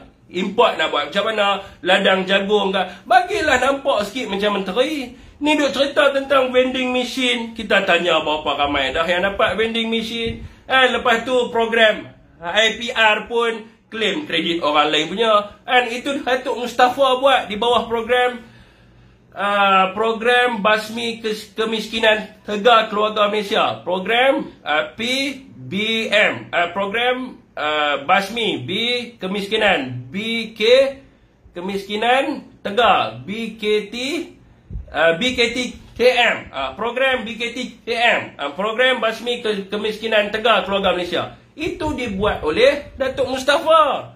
Rafizi buat apa? Apa nama dia, bila dia duduk kat tempat tu, Menteri Ekonomi pun haprak. Sebab apa Menteri Ekonomi fail? Sebab Perdana Menteri gagal. Tuan-tuan, letak siapa-siapa pun di situ. Kalau Perdana Menteri mangkuk ayun, kalau Perdana Menteri menipu, kalau Perdana Menteri ni hanya pelakon saja, letak siapa pun yang bagus, segala kementerian tak boleh jalan. Sebab Anwar tidak ada ketokohan jadi Perdana Menteri. Anwar hanya boleh jadi orang yang berucap dekat pentas macam Zig Ziglar berucap sedap apa semua. Anwar hanya boleh jadi uh, dia panggil apa apa nama ni stand up comedy untuk buat lawak ke atas pentas. And Anwar tak boleh jadi Perdana Menteri. Dia adalah pelawak. Dia boleh jadi pelawak. Saudara, rakyat yang susah, yang derita, orang semua gelak. Dia tak layak jadi Perdana Menteri. Itu belum kita cerita tentang lain-lain lagi tuan-tuan. And Kementerian Pengangkutan. Kementerian apa lagi? Segala kementerian ni ada banyak kementerian di Malaysia pembangunan luar bandar. Apa insentif bawah mara? Kan? Apa insentif di bawah amanah ikhtiar? Orang masa zaman PN dulu, kita bagi macam-macam tuan-tuan. Kita bagi motosikal supaya orang boleh start buat grab food. And kita bagi apa lagi? Kita bagi bawah apa 15 ribu kepada usahawan muda. And macam-macam kita bagi. Tapi sekarang ni apa mereka bagi? Sebab tu saya kata, kementerian hari ni tuan-tuan boleh tengok. Ni tak payah nak nafikan. Tuan-tuan rasa benda ni. Kementerian hari ni semua gagal melingkup semua. Tak buat kerja apa pun kementerian hari ni. Perdana Menteri pun menghabiskan duit rakyat ya. Pergi jalan sana, jalan sini, jalan sana tuan-tuan. Dia pergi masuk universiti, duduk OC kat tengah tu habis 5-6 jam tuan-tuan. Kerja Perdana Menteri ni, dia kena, and saya tahu dekat sini ramai orang CEO ada kat sini.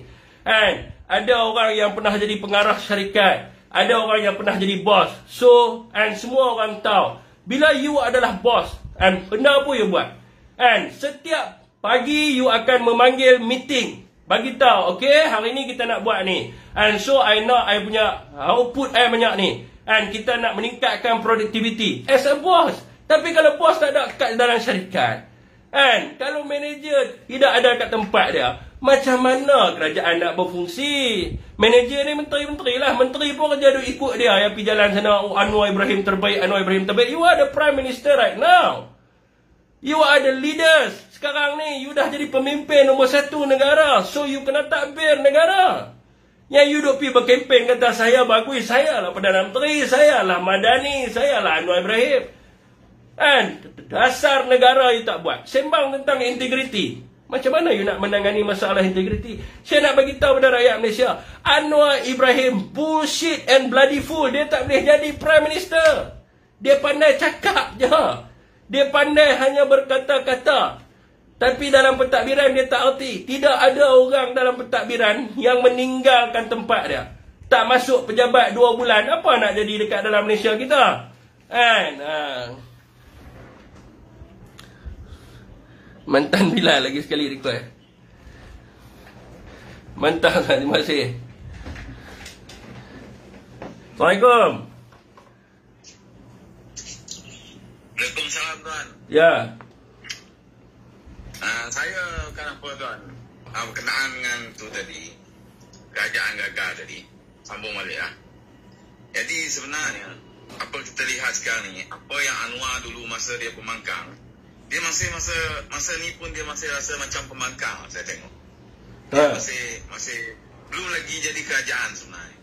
Oh. Sebab masih berkempen untuk nak apa? Nak mengukuhkan kedudukan tapi tak me tak me apa? Melaksanakan tugas dia lah sebenarnya. Kita tengok dia pergi ke tempat-tempat macam uh, di universiti dia pergi dia cuma berkempen dia bagi tahu yang orang terdahulu tu sakau, semua sakau, semua penyangak. Jadi sekarang ni dia tak perlu lagi cakap sakau penyangak tu bab penyangak. Kalau contohnya uh, orang yang dahulu dia tak perlu fikirkan kerja orang terdahulu. Dia kena buatlah apa yang dia janji dulu. Macam Rafizi Ramli dia bagi tahu dia ada formula dulu dia cakap menteri tujuh melambat-lambat tu tak ada formula nak buat apa. Ha, dia sekarang ni dah jadi menteri. Kenapa dia tak boleh buat? Dia kena buat. Itu yang kita nak. Bukan kita nak lihat dia nak berkempen sana sini ke hulu ke hilir. Masih lagi kempen kerajaan terdahulu tu gagal. Jangan kempen dahulu kerajaan dahulu tu gagal. Dia dulu dia, dia pernah cakap ha, gaji bagi menteri gaji ha, melambat-lambat tu berpuluh-puluh menteri. Ha, tapi formula satu formula pun tak ada dia cakap. Itu saya masih ingat selalu sebab saya dulu menyokong tegar dia. Hari-hari bila dia dia buat live, dia buat apa saya memang oh ni ni lah orang yang akan layak jadi pemimpin Malaysia. Ha? Bang, nasib baik abang tak buka cam, bang. Terbaik. Nasib baik abang tak buka cam. Sekarang saya tengok, saya tengok sekarang ni, langsung apa yang dia cakap tu cuma kosong. Lebih kosong daripada tim kosong. Tuan tahu tak? Lebih kosong daripada tim kosong. Jadi sekarang ni kita harap supaya PRN kepada enam buah negeri ni, semua PN sapu bersih, supaya turunkan mereka ni. Mereka ni kalau diteruskan, memang tak boleh sebab dulu dia cakap OPR naik, kerajaan tak pandai. Bila sekarang OPR naik, dia cakap tanya bank, tanya bank, tanya bank. Eh bodoh apakah dia dia dia macam ni? Sebab dulu dia cakap lain, sekarang cakap lain. Anwar pun sama. Hari ini jadi kerajaan, dia nak turunkan harga minyak. Bila dah jadi kerajaan, oh dia cakap dia bukan Perdana Menteri. Ah dia dia kalau dia perdana menteri baru dia dapat turunkan. Kan ni dia perdana menteri, satu sen pun dia tak boleh nak turun. Kalau dia tak boleh nak turun banyak, turunlah 10 sen. Nampaklah dia dia dah dah dah duduk kat situ oh dia dapat turun ke 10 sen. Okeylah. Dia nak tapi sekarang ni satu sen pun dia tak boleh nak turunkan. Dia nak hapuskan PTPTN. Hmm. Dia langsung tak buat. Apa yang dia janji dulu sebenarnya dia, dia nak nak menjatuhkan dan dia nak dapatkan jawatan.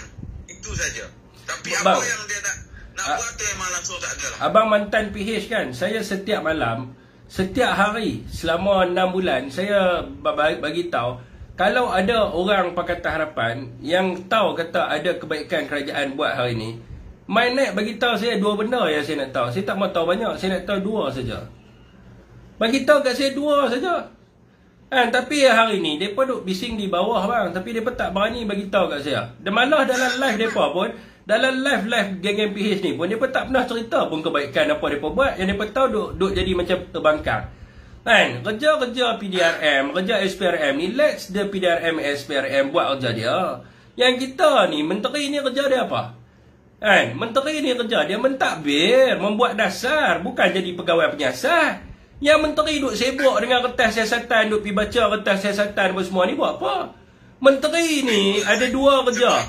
Saya nak bagi tahu, eh, eh, abang abang, saya bang. Ah, ni nak bagi rakyat tahu. Ada dua benda. Bila you become the MPs ataupun member of parliament, bila you jadi kerajaan you ada dua benda. Yang pertama apa? Pembuat undang-undang. Kalau you rasa ada loophole dalam undang-undang tu yang menyebabkan pada rasuah ni, bawalah rang undang-undang pendanaan politik. Kan ke parlimen untuk luluskan undang-undang. Apa undang-undang yang dibuat hari ni? Apa rang undang-undang yang diluluskan oleh kerajaan hari ni? Jadi member of parlimen daripada kerajaan pun fail. Masuk dalam parlimen kerja duk nak membahan orang, nak kritik macam zoo. Kan jadi bila you jadi menteri, menteri ni kerja apa? Menteri ni pembuat dasar. You membuat dasar.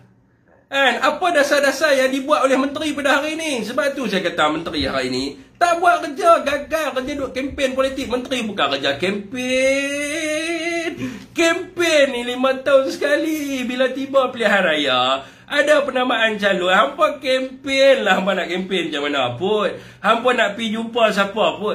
Bila jadi kerajaan, bukan kerja duk pergi habak. Kami ni Madani. Madani tu apa? Rakyat tanya, apa dia Madani? Cerita mai kat kami dasar Madani. Eh, okey bang, teruskan. Sekarang ni saya nak beritahu tak ada lagi dah penyokong PH yang betul-betul. Sebab kita memang dah dah muak. Sebab kita dah muak. Sebab dulu kita memang support gila lah. Memang support gila kata orang ni. Memang kita oh ni lah kerajaan yang terbaik. Ni akan akan jadi pemimpin. Tapi, tapi bila kita dah bagi peluang. Bila kita rakyat dah bagi peluang. Satu abuk pun dia orang tak boleh buat. Hmm. Jadi masihkah kamu nak sokong? Saya nak tanya kamu. Masih kamu nak sokong? Kalau kamu masih sokong, kerajaan macam ni, memang kita akan ditanyalah bila kita dah meninggal besok. Hmm. Sebab sekarang ni kita dah dah nampak, kita dah dah dah nampak ringgit jatuh semua jatuh, semua. Tak ada yang terbaik sekarang ni. Tak ada yang kita nampak yang terbaik. Seperti yang tuan cakap tadi, peluang pekerjaan. Memang tak ada peluang pekerjaan dah sekarang ni. Semua rakyat memang menderita. KWSP janji bila masa dia jadi ah, jadi pembangkang dulu ah, rakyat kena bantu. KWSP kena keluarkan untuk bantu rakyat. Rakyat tengah susah. Bila sekarang ni mana?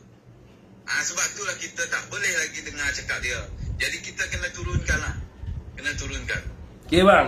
Kita, Sebelum kita ni, sebelum- orang yang betul-betul dapat Se- sebelum negara. sebelum ni abang laun abang laung kan turun turun turun Mahathir boleh tak saya nak dengar sekali abang laun kan turun turun turun Anwar.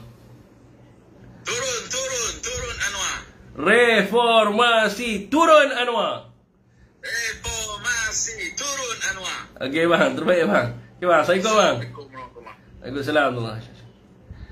Uh, orang PKR sendiri cakap turun turun turun Anwar kalau dia ada maruah tak letak jawatan lah. Kan? Berapa duk tahan lagi? Assalamualaikum. Assalamualaikum Waalaikumsalam warahmatullahi wabarakatuh bang. Ya. Uh, Okey bang. Saya nak cakap kat sini yang uh, Anwar Ibrahim ni kaki sidai orang lah bang. Hmm. Betul bersidai dan kaki sembang. Itu dia saya nak cakap. Ah, Itu dia cakap masa zaman dia jadi pembangkang dia nak hapuskan AUKU. Dia kata apa menindas orang menggunakan AUKU ni untuk kepentingan peribadi, kepentingan politik. Dan hari ni apa yang dia cakap, apa yang dia buat? Tak buat. Dia ada dua per tiga majoriti dalam parlimen. Kalau dia nak hapuskan, dia nak dia nak ubah balik apa nak ubah balik undang-undang tak ada masalah bang. Tapi dia tak boleh buat. Sebab apa? Sebab ada kepentingan dia sendiri. Dulu dia sembang apa? Rakyat susah, kena naikkan taraf ekonomi rakyat. Hari ni apa yang dia buat? Dia tak buat. Dia sembang. Dia ingat dan hari ni pula keluar kenyataan apa daripada Lim Kit Siang. Dia kata apa yang berlaku hari ni akan menyebabkan 13 Mei akan berulang. Bang, come on lah bang. Hari ni orang bangkit bang. Bukan sebab bangsa Cina, bangsa Melayu bangkit. Bukan sebab apa bang. Sebab ini adalah berkaitan dengan kesusahan rakyat bang. Kesusahan rakyat. Kehidupan rakyat. Taraf sosioekonomi rakyat. Dan hari ni dia nak cakap apa? Dia nak kata pasal 13 Mei. Perkauman. Berlaku semua benda ni bang. On lah bang. Hari ni orang, orang tak nak cerita pasal perkauman ni semua bang. Orang nak cerita pasal rakyat sebab kau gagal mentadbir negara ni bang. Kalau engkau betul-betul buat kerja bang, hari ni kita tengok KDN, apa Menteri KDN turun dekat uh, Lunas. Cek pam pam hari. Apa benda bang? Engkau duduk kerja engkau, buat kerja engkau sudah lah. Menteri Ekonomi, apa Menteri Ekonomi, ekonomi dah buat untuk negara ni? Tak ada bang, tak ada reform apa-apa pun. Bila masa dia jadi pembangkang bang, sibuk atas jalan raya, sibuk atas parlimen, membangkang uh, kerajaan masa tu. Cakap kita kena reform ni, kena buat ni, tu, ini, semua. Semua dia pandai lah bang. Tapi hari ni, kita tengok bila dia duduk di puncak kuasa bang. Apa benda pun dia tak buat bang. Hari ni orang nak si makan ma- macam kisah abang cerita tadi tu. Dia abang cerita pasal kawan abang nak beli tonggas bang. Di situ pun kita boleh ambil pengajaran bahas, bah- bahawasanya betapa rakyat tu tertekan untuk menjalani kehidupan seharian bang. Sampai bila kita nak pergi ruang dekat orang-orang yang macam ni bang. Kita tengok PMX hari ni sangat fail dan the worst prime minister ever lah saya rasa. Dia tak kesian ke dekat budak-budak kecil yang baru lahir Hari ni kita nak cerita pasal orang yang baru beranak Dia dah fikir dah untuk anak dia ke depan Boleh ke tak aku nak beli susu anak aku ni Boleh ke tak aku nak sara keluarga aku ni Sebagai seorang suami bang Untuk menjalani kehidupan untuk Untuk sara keluarga dia bang. Penuh dengan tekanan mental dan emosi bang Setiap hari bang. Hari ni keluar pagi Balik petang Petang sambung kerja malam. Kau sanggup ke tengok rakyat hidup Dalam keadaan yang macam tu? Boleh jadi bang dalam krisis ekonomi yang berlaku dalam Malaysia ni bang. Keruntuhan ataupun proses penceraian di Malaysia meningkat secara mendadak bang. Sebab apa? Tekanan tekanan duit tak ada bang. Nak sara keluarga macam mana bang? Dan yang paling banyak sekali adalah Selangor. yes bang. Sebab kalau kita tengok ah even di JB sini pun bang kalau kita dulu mengharapkan duit Singapura masuk membeli belah kat sini hari ni dah tak ada bang. Dah kurang bang. Sebab dia orang pun terpaksa peniaga-peniaga terpaksa naikkan juga duit. Duit apa maknanya makan semua pergi kedai makan semua terpaksa kena naikkan harga kemudian orang Singapura ni taklah semuanya bodoh semua nak terus beli kat sini tak ada bang. So jadinya kalau kita rasa hari ni kerajaan hari ni dia orang terus lagi menekan rakyat hari ni saya rasa saya tak tahu lah dari segi penceraian bunuh diri pun mungkin akan meningkat lepas ni. Orang yang jadi pesakit mental pun akan meningkat. Kalau abang tengok balik statistik the world happiness uh, uh, dunia world punya happiness kita dah turun bang daripada 59 di masa pentadbiran Mahyudin dengan uh, Ismail Sabri dan hari ni kita berada di tangga 76 76 bang. Maksudnya apa? Itu ada indikator menunjukkan rakyat Malaysia hari ni berada di paras tekanan yang sangat tinggi So hari ni dia orang nak cakap apa? Dia orang nak cerita pasal indikator. Kerajaan dah bagi uh, duit secara hidup. Apa IPR, apa mak nenek. Semua benda tu tak pakai bang. Indikator tu pun dah menunjukkan kerajaan hari ni adalah kerajaan yang gagal. Hmm. Itu saja bang. Dan saya rasa bang, kalau berterusan macam ni bang, saya rasa lingkup kita bang, lingkup. Tak kisahlah awak politician ke tak politician dan politician ke. Kalau kos secara hidup ni menekan rakyat ni, saya rasa jahanam hidup kita bang, jahanam. Betul. Dan sa- saya harap sangat bang dalam PRN nanti ni saya daripada luar ni saya mengharapkan orang Selangor ni jadi cerdik Hmm. dan fikir balik kita berjuang hari ni bukan berjuang atas dasar parti ataupun Hmm. benda-benda lain lah. Ini adalah berkaitan dengan sara hidup kita, berkaitan dengan bangsa kita dan bangsa kita dan bangsa lain juga. Hmm. Ditekan dan ditindas, dizalimi. Dan hari ni kita harap sangat masa PRN nanti orang Selangor tolonglah ubah. Tolonglah undi Perikatan Nasional. Ini adalah referendum kita kepada kerajaan yang gagal hari ini.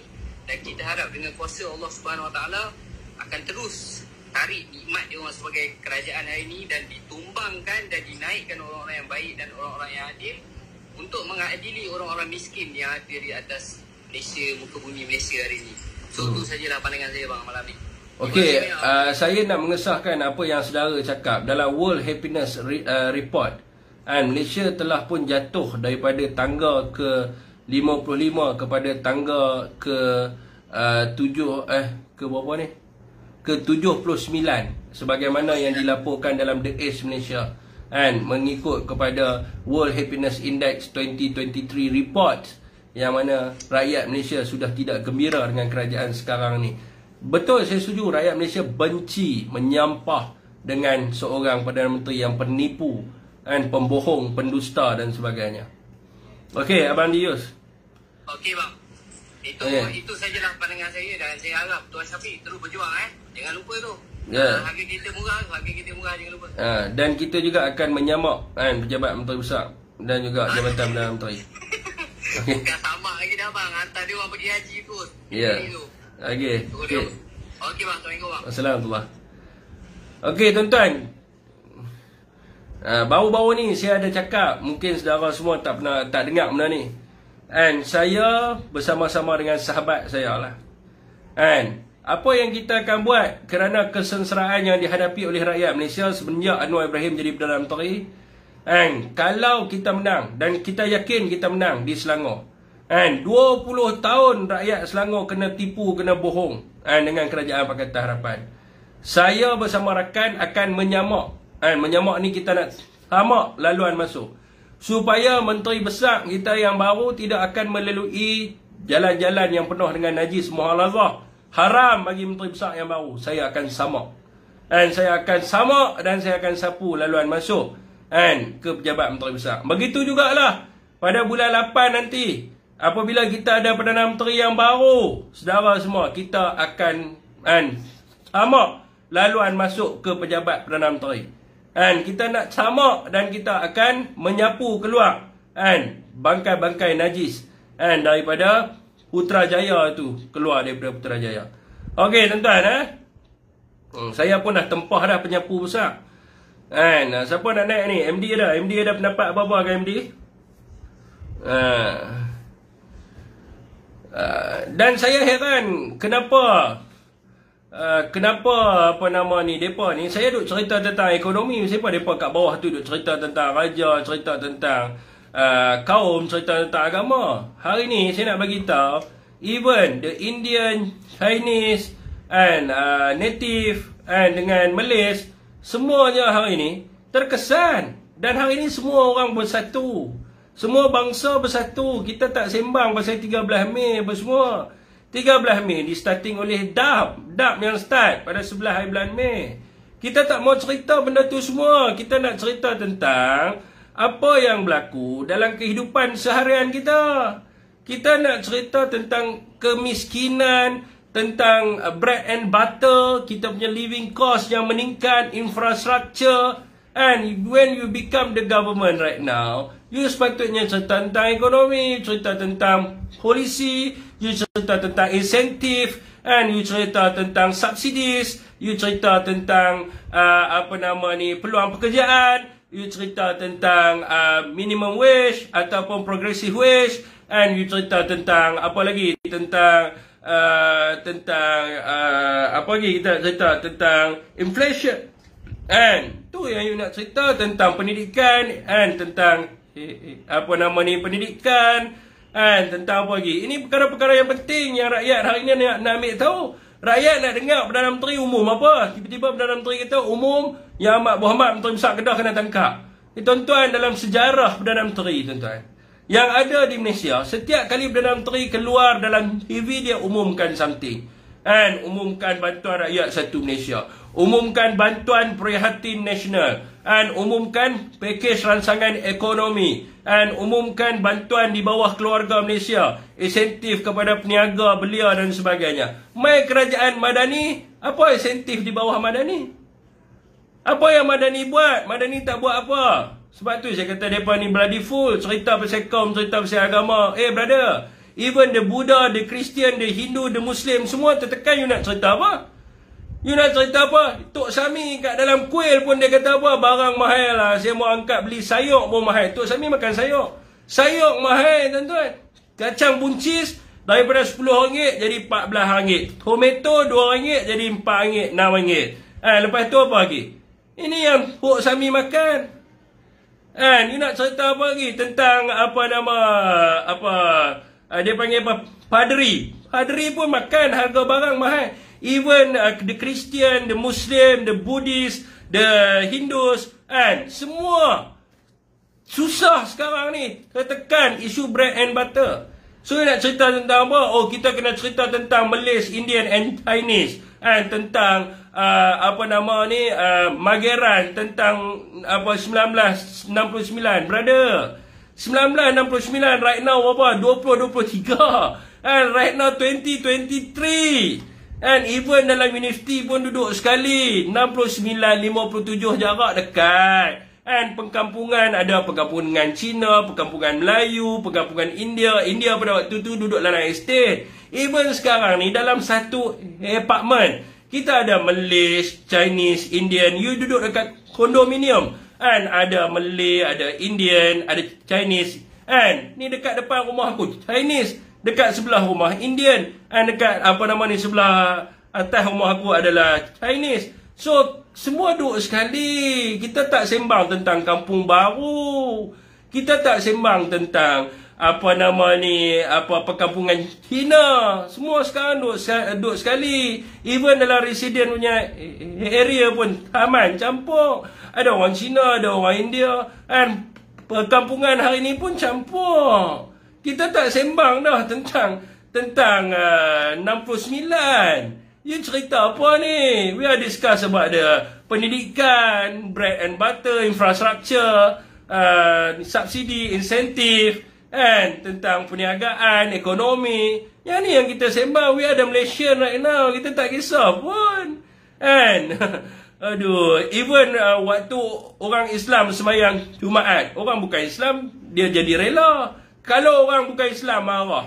Kan? Tak suka. Kan? Dengan orang Melayu Islam tak suka dengan azan. How come you pergi tengok waktu you sembahyang Jumaat even dekat Selangor KL yang berdiri jaga parking you siapa dia? Kan? Kita punya uncle-uncle auntie-auntie Indian Chinese dia jaga parking kita. You pergi masjid Shalom kan? Rela siapa dia? Indian Chinese. You pergi masjid Kelang Indian Chinese Eh, you pergi masjid mana-mana yang guna Raila. Semua Indian Chinese. Kalau dia orang tak suka, why dia pergi jaga dekat depan kita punya mosque?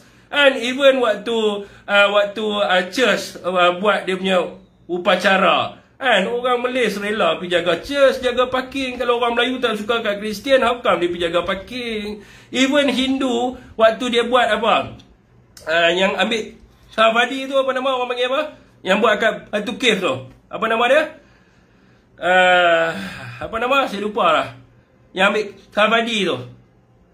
Apa nama? Uh, Hindus. Apa nama dia panggil apa? Uh, ah even masa Thaipusam masa Thaipusam trafik-trafik yang jaga tu semua orang Melayu brother. Rela-rela yang jaga semua Melayu. Yang jaga parking. Kan yang jual-jual makanan kat luar tu semua ada Malaysia And kalau Malaysia tak suka Hindu, how come waktu uh, Thaipusam, ada pun orang Melayu yang naik kan? Tangga tu yang ambil gambar kan?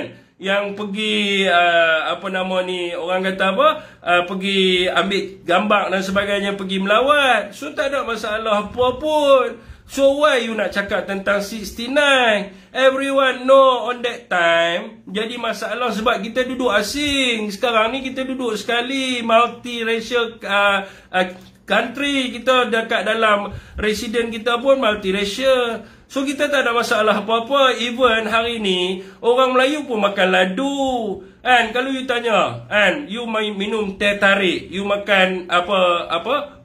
Wati kanai waktu pagi. Itu siapa punya culture? Itu Indian punya culture. You makan hose, roti canai, lepas tu apa nama? Yang yang macam kuih tu, kan? You makan tu semua Indian punya food.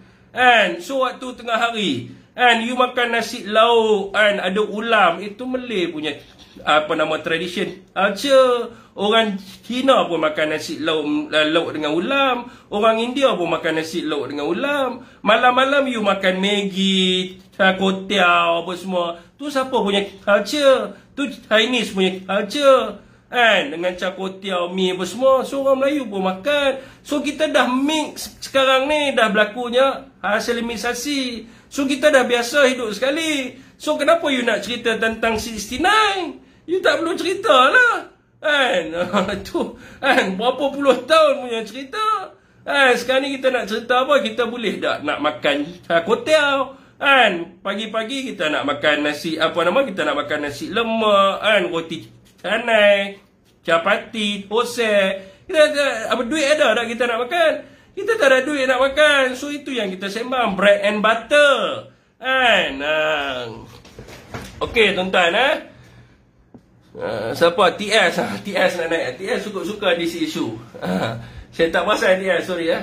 Assalamualaikum TS, how are you? Waalaikumsalam warahmatullahi Alhamdulillah sihat. Ya, yeah, ya. Yeah. Bagus. Saya suka dengar saya suka dengar rintihan rakyat di di diindangkan dalam semua TikTok sebab memang tak kisahlah orang Melayu ke orang Cina ke orang India ke semua pun terkesan dengan keadaan ekonomi sekarang. Memang betul. Nanti saya jumpa dengan kawan-kawan Cina dengan India semua mereka pun rasa terkesan. Dia orang tunggu Dia tanya dengan DS Kenapa masalahnya? Saya cakap blueprint Ekonomi negara Belum lagi dibentangkan. Itu yang membuat pelabur segan nak masuk. Sebab dia tak tahu hala tuju negara. Where is the direction of the economics? So inilah masalahnya kerajaan uh, Madani ini memanglah kerajaan Madani ini memang tak mampu nak betulkan apa-apa tetapi mereka hanya uh, berkesan dengan berpolitik sahaja. Itu sahaja kerajaan uh, Madani ini eh. Tuan-tuan puan-puan kena faham. Anwar Ibrahim bukan seorang pakar ekonomi. Dan juga Rafizi Ramli dia bukan seorang pakar formula ekonomi dan kita nampak sangatlah masing-masing buat kerja untuk pihak tertentu saja seperti uh, apa dia Menteri MITI kita nampak uh, dia buat kerja untuk orang tertentu saja dan untuk pengetahuan tuan-tuan puan-puan, apabila sebagai seorang Perdana Menteri, dia menjawab dua jawatan, dia tak mampu. Dahlah dia gagal jadi Perdana Menteri yang baik. Sekarang dia dah gagal menjadi Menteri Kewangan. Sebab dia pegang portfolio yang sama. Sebab dia itu tak boleh. So saya sarankan lah. Eh. Saya sarankan kerajaan Madani ini, uh, tolonglah cari seorang Menteri Kewangan. Ha, letak seorang Menteri Kewangan. Jangan pegang dua portfolio.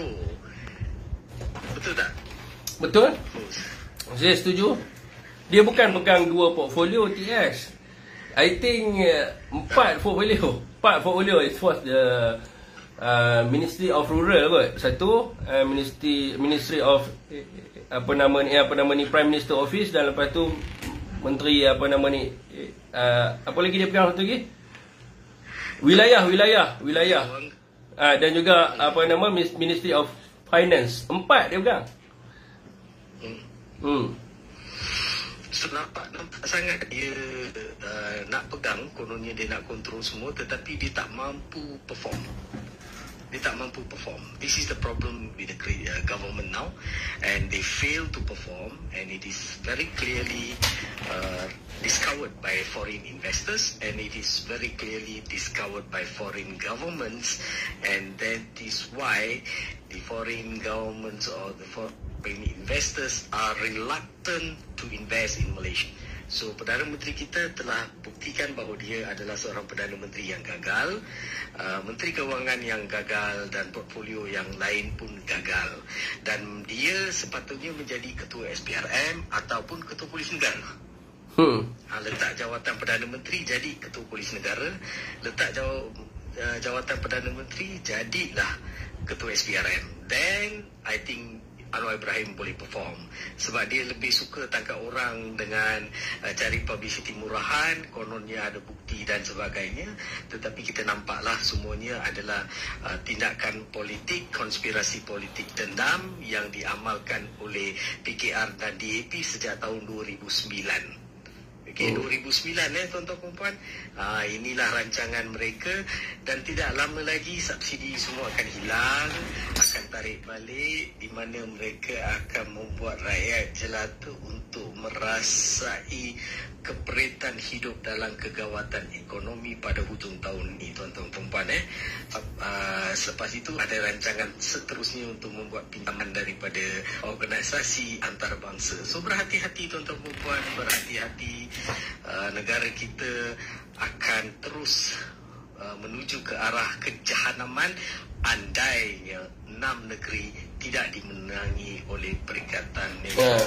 Sekiranya ingin hidup bahagia, ingin teruskan kehidupan yang lebih Ah. uh, sempurna, sebaiknya rakyat jelata bersatu padu, berganding bahu, undilah untuk Perikatan Nasional supaya Perikatan Nasional boleh sampaikan mesej yang jelas dan nyata kepada kerajaan persekutuan dan seterusnya andaikan enam negeri dimenangi oleh Perikatan Nasional, GPS, GRS dan 20 ahli parlimen daripada Barisan Nasional akan tarik sokongan. Ya betul. Okey, itulah rancangan yang telah dirancang, direncanakan Ah, dan insyaAllah akan dilaksanakan. Uh, TS sekejap TS saya nak balas ni ada satu komen ni. Dia kata apa? Dia kata uh, fail to perform baru 8 months menjaga sebuah negara Mac Rizal harus melihat selepas 3 tahun walaun oh walaun. Actually dia tak faham dalam standard worlds dalam standard dunia saya nak bagi tahu 100 hari orang melihat kepada dasar kerajaan. 100 hari 100 days tu dia bukan panggil sebagai dia bukan dipanggil sebagai bercuti dan sebagainya 100 hari orang dah tengok dasar you ambil dekat UK sebagai contohnya. Berapa hari Liz Truss resign? Sebelum tu adalah Morris. Morris resign disebabkan oleh dia menganjurkan parti. Even Perdana Menteri Malaysia lompat pun tak resign. Kan jadi dia resign. So buat berlakunya pilihan raya. Bila berlaku pilihan raya Liz Truss kata dia boleh baiki ekonomi uh, UK kan dia boleh bawa polisi-polisi untuk menabur uh, menarik pelabur. Within 45 hari selepas dia jadi kerajaan dia tak mampu bawa polisi ataupun blueprint lah kat UK tu. Dia resign. And then sekarang ni who become the the prime minister of United Kingdom? Rishi Sunak. Kan? So so 100 days adalah masa untuk membuat dasar. 8 month 8 bulan you tak ada polisi. Macam mana nak ukur prestasi and so ma- how can you see the result and without you ada polisi? You nak tengok result apa?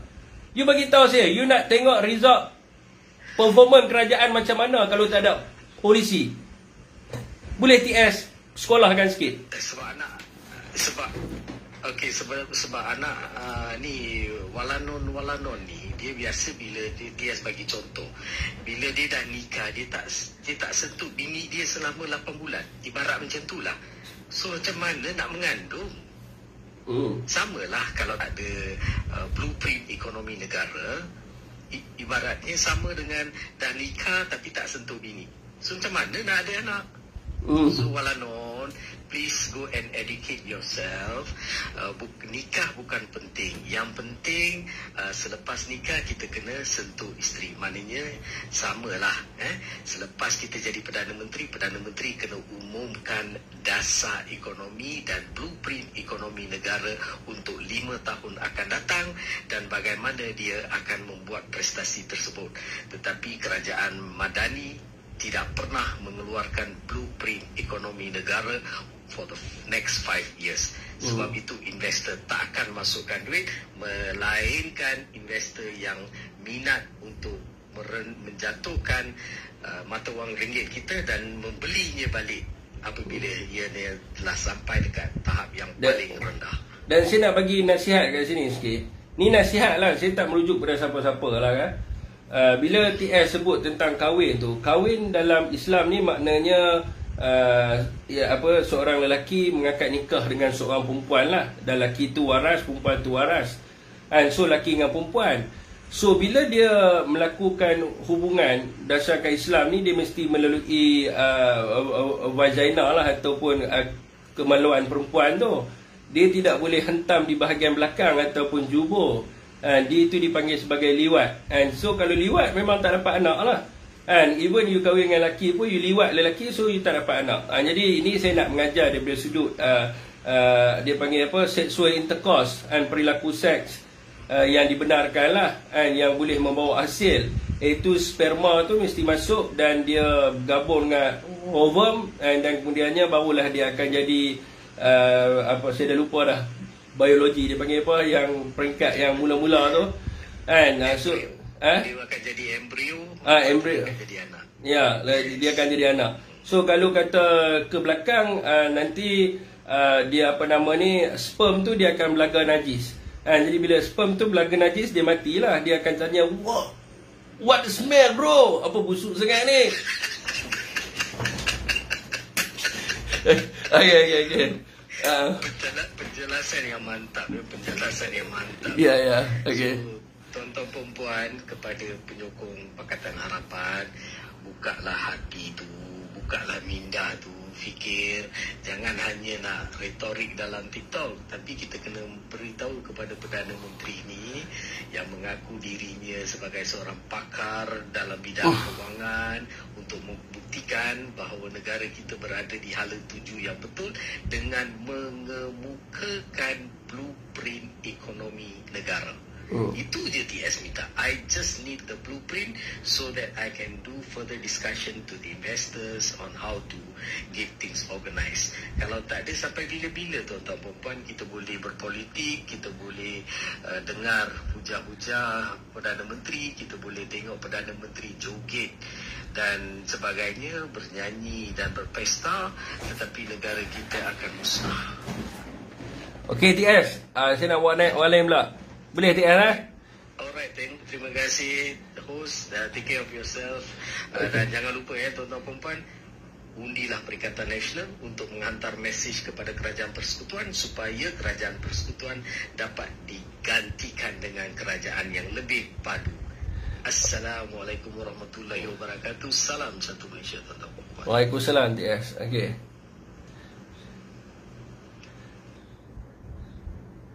Uh, Saidi Indrus uh, Apa sekejap hari ni Pakcik ni lama dah request. Assalamualaikum. Ada lagu pula cik. Assalamualaikum pakcik Pakcik Pause pula dah Cik. Assalamualaikum. Ting ting ting ting Assalamualaikum. Tak ada. Tak ada. Ha?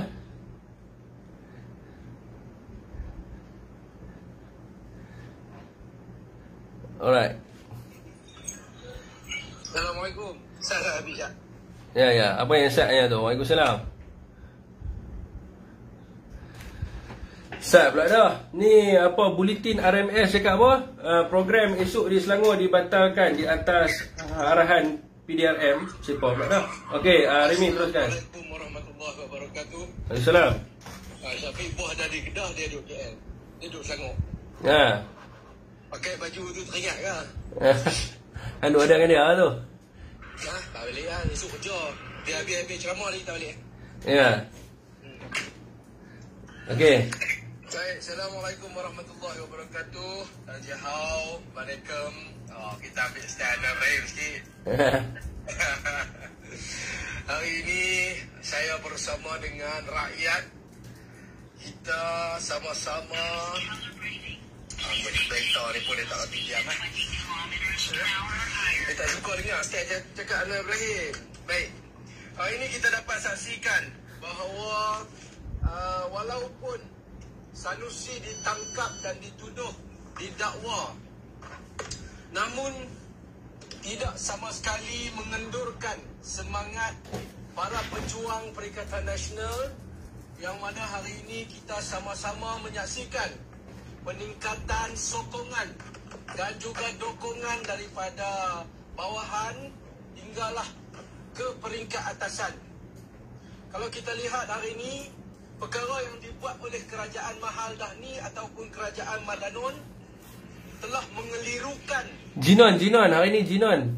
Oh, Jinon. Ha, ha. okey. Telah mengelirukan rakyat tak kira dari peringkat bawahan ataupun peringkat atasan daripada per- pemim, uh, daripada peringkat uh, rakyat akar umbi sehinggalah ke, ke kepimpinan yang teratas bahawa perkara ini adalah satu tindakan yang berunsur politik untuk menjatuhkan kredibiliti Datuk Seri Sanusi itu sendiri namun perkara tersebut senang dan mudah dipatahkan oleh semua pimpinan fakta-fakta yang diberikan oleh pimpinan telah menyebabkan mereka terpaksa bertindak luar tabi'i dengan mengeluarkan hujah seterusnya iaitu REE.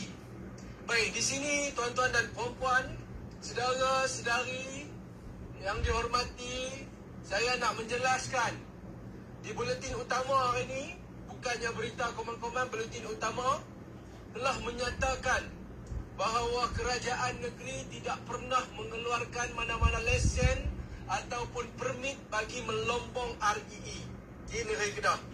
Secara jelas dinyatakan. Okey, yang terlibat yang ditangkap tu adalah CEO Menteri Besar Incorporated dan juga uh, syarikat swasta, pemilik syarikat swasta yang mana diberikan lesen untuk menjalankan ladang hutan yang uh, telah dijalankan uh, sejak sekian lama. 2020 diberi permit tersebut. Namun permit tersebut disalahgunakan oleh company tersebut bagi melombong nadir bumi ataupun rare earth element yang kita sebut REE tu. Okey? Okey setakat tu kemudian perkara ini telah dibawa ke peringkat yang lebih lanjut. Saya nak memuji SPRM mengambil tindakan dalam tempoh 3 jam.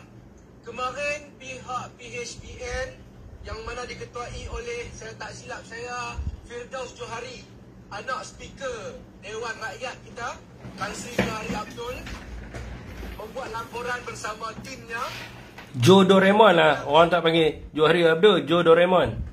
Jaga Raymond. Ha. Uh, Johari Abdul uh, membuat laporan pada pukul 3 petang kemarin. SPRM membuka kertas siasatan pada pukul 6 petang. Tindakan ini harus kita puji. Dan sepatutnya tindakan ini dibawa kepada kes-kes lain. Contohnya kes LCS, contohnya kes Setiausaha Politik Kementerian Sumber Manusia uh, dan kes-kes yang besar lain. Bukan setakat kes kecil ini saja, kes yang besar. Saya memetik kata kata-kata Madanon, kata-kata PMS kita yang mana ketika mana immigration dia dia pergi immigration tu menahan menyekat seorang warga Cina untuk masuk ke Malaysia kemudian dia dia kata dia pergi buat spot check walaupun 2 3 jam sebelum tu dah penuh media di KLIA saya nak memetik kata-kata dia masih ada penjawat awam yang mengamalkan budaya lama budaya di kerajaan lama yang menyalahkan penjawat awam jadi dalam dalam perkara ini saya pun boleh mengatakan perkara yang sebegitu sedemikian bahawa pekerja-pekerja CEO juga pekerja di MBI MBI Incorporated dari Kedah masih mengamalkan budaya yang lama. Tidak boleh menyalahkan kerajaan negeri. Tidak terlibat langsung Exco Tanah dan Galian, tidak terlibat langsung uh, Menteri Besar Kedah dalam dalam apa tu kesalahan melombong rare earth element secara haram ini. Dan perkara ini pun Sanusi pernah jelaskan di dalam ucapan beliau, jika hampa tak mau guna kuasa hampa, bagikan kami kuasa untuk kami ambil tindakan. Ha, jadi inilah yang kita harapkan kami pada SPRM supaya menyiasat hingga ke akar umbi. Siapakah mereka ni? Kita tidak pernah menutup pintu untuk pihak berkuasa melakukan siasatan. Kita berharap sangat MB Kedah membuka seluas-luasnya pintu ke pejabat beliau. Mana-mana pihak berkuasa yang ingin menjalankan siasatan dipersilakan. Tidak ada sebab untuk saya menghalang mana-mana pejabat awam yang mempunyai kuasa untuk melakukan siasatan silakan. Jadi sebagai anak muda, sebagai penyokong Perikatan Nasional dan juga kepada semua apa tu rakyat-rakyat yang masih berada di atas pagar, pastikan kali ini undi ini ini hari geng. Ha, ini hari geng. Kita undi Perikatan Nasional kerana tiada isu yang kukuh dibawa oleh kerajaan Madanon. Tak ada satu isu yang kukuh. Isu banglo kita dia dia tembak kita kepak. Dia kita kita kita kepak. Dia isu isu apa lagi? Isu pelbagai jenis isu lah dia bawa mai saya sampai tak larat dah sampai kat tepi ini. Lagi pagi-pagi pukul 3 pagi. Ingatlah malam tu Sanusi di uh, malam Sanusi ditangkap tu saya masuk live Syafiq pukul 3 pagi. Orang call ni, oi, pasal apa Sanusi kena tangkap? Sanusi kena tangkap pukul 3.45, 5 call. Ada lagi call. Saya kata, bila masa Sanusi kena tangkap? Mereka cuma takut Sanusi tak mau pergi mahkamah. Syafiq mau pergi mahkamah. Kalau ikut yang nak lari, Syafiq lari dulu. Bukan Sanusi. Sebab Sanusi adalah ketua kerajaan salah sebuah negeri di, di Malaysia ni. Jadi kita berdiri atas landasan yang benar. Kita sedia memberikan keterangan kepada mahkamah. Ha, jadi harap semua faham tentang kes yang berlaku, apa itu kronologi yang berlaku dan kita anggap bahawa ini adalah tuduhan bersifat politik untuk menjatuhkan kredibiliti Datuk Seri Sanusi yang mana Datuk Seri Sanusi hari ini menjadi perlawanan hebat kepada kerajaan Madat. Kanon, semua menteri kabinet ada ada berapa puluh menteri kabinet semua nak lawan Sanusi seorang. Ah, adakah negeri Kedah ni negeri kaya? Tak. Mereka sendiri kata negeri Kedah. Mungkin semua menteri turun ke negeri Kedah. Kecuali menteri luar negara. Mungkin Kedah ni masih dalam negara, dia tak main. Jadi kita lihat di situ. Apa yang mereka, apa yang mereka lakukan kepada kepimpinan kita. Tak Bukan sahaja kepada Datuk Seri Sanusi, kepada Tan Sri Muhyiddin, kepada Datuk Wan Saiful Wan Jan, kepada Syafiq sendiri. Apa yang berlaku? Semua ini adalah tuduhan bersifat politik. Kita menyeru SPRM. Kalau betul apa nak buat kerja, apa buat kerja sungguh-sungguh siasat isu LCS yang mana isu LCS tu laporannya adalah dah lengkap. Dilakukan oleh PA uh, jawatan kuasa kira-kira wang negara PAC silakan. Dakwakan dakwa semua tu. Dan kes Zahid untuk membela diri dilanjutkan lagi. Sehingga bulan berapa Syafiq? Saya tak ingat dah. Sebab lama sangat senyap ni kes Zahid ni. 47 kes. Hmm. tahun depan tahun depan. Ha, tahun depan. Sehingga tahun depan Jadi ini yang kita nampak dengan kerajaan Madanon hari ini. Tadi adalah terang lagi bersuluh bahawa kerajaan hari ini selalunya mereka akan tepuk dulang, ayak dalam dulang, minyak dalam dulang, seperti ke muka sendiri. Jadi kena ingat, ular menyusul akar tidak akan hilang pisahnya. Selagi mana kita berpijak atas satu landasan yang nyata, kita pasti akan berjaya. InsyaAllah, takbir! Allahu Akbar! Allah Akbar. Okey, terima kasih. Assalamualaikum. Salam. Ya, Izlan. Assalamualaikum, Izlan. Waalaikumsalam warahmatullahi wabarakatuh. Ya, macam mana prestasi di Langat? Eh, di Ampang? Eh, bukan, saya berlakon satu. Eh? Balakong kan? Kau bangi eh? Ah, bangi, bangi. Eh, kau dah tukar pula dah? Ikut Datuk Wan pula? Bukan, rumah saya dekat kat sana. Sebab daripada lahir pun saya kat sana juga. Oh, so kau dah tukar pergi bangi lah? Ah, tak apa, tapi dia takkan marah sebab saya memang saya ambil bersatu je. Kita bukan ambil lompat mati je sekarang. Eh, kau lompat bahagian. Ada atau lompat bahagian tu? Tak apa, eh 21 ni saya akan jumpa dengan Ketua Penerangan Bersatu. InsyaAllah. untuk apa tu? Sebagai apa? 21 ah, Abang Syafiq datang. Ada apa 21? Ha? Ada apa? Ketua Penerangan. Haji Isan sekiranya yang berjemput. Jentera Perikatan Daya Jawab. Dato' Wan pun datang juga. Jentera penerangan? Ah. Tak tahulah. Aku bukan penerangan. Aku biasa je. Eh, tahu apa tapi maknanya 21 dia dah buat dah jem- dia kan dah jemput macam ba- badan baru bampang. Oh, tak ada, tak ada. Aku ter- aku sebagai campaign manager di Lunas. So, aku tak terlibat kot dengan pusat punya ni. Oh, okey okey. Ah. Fine.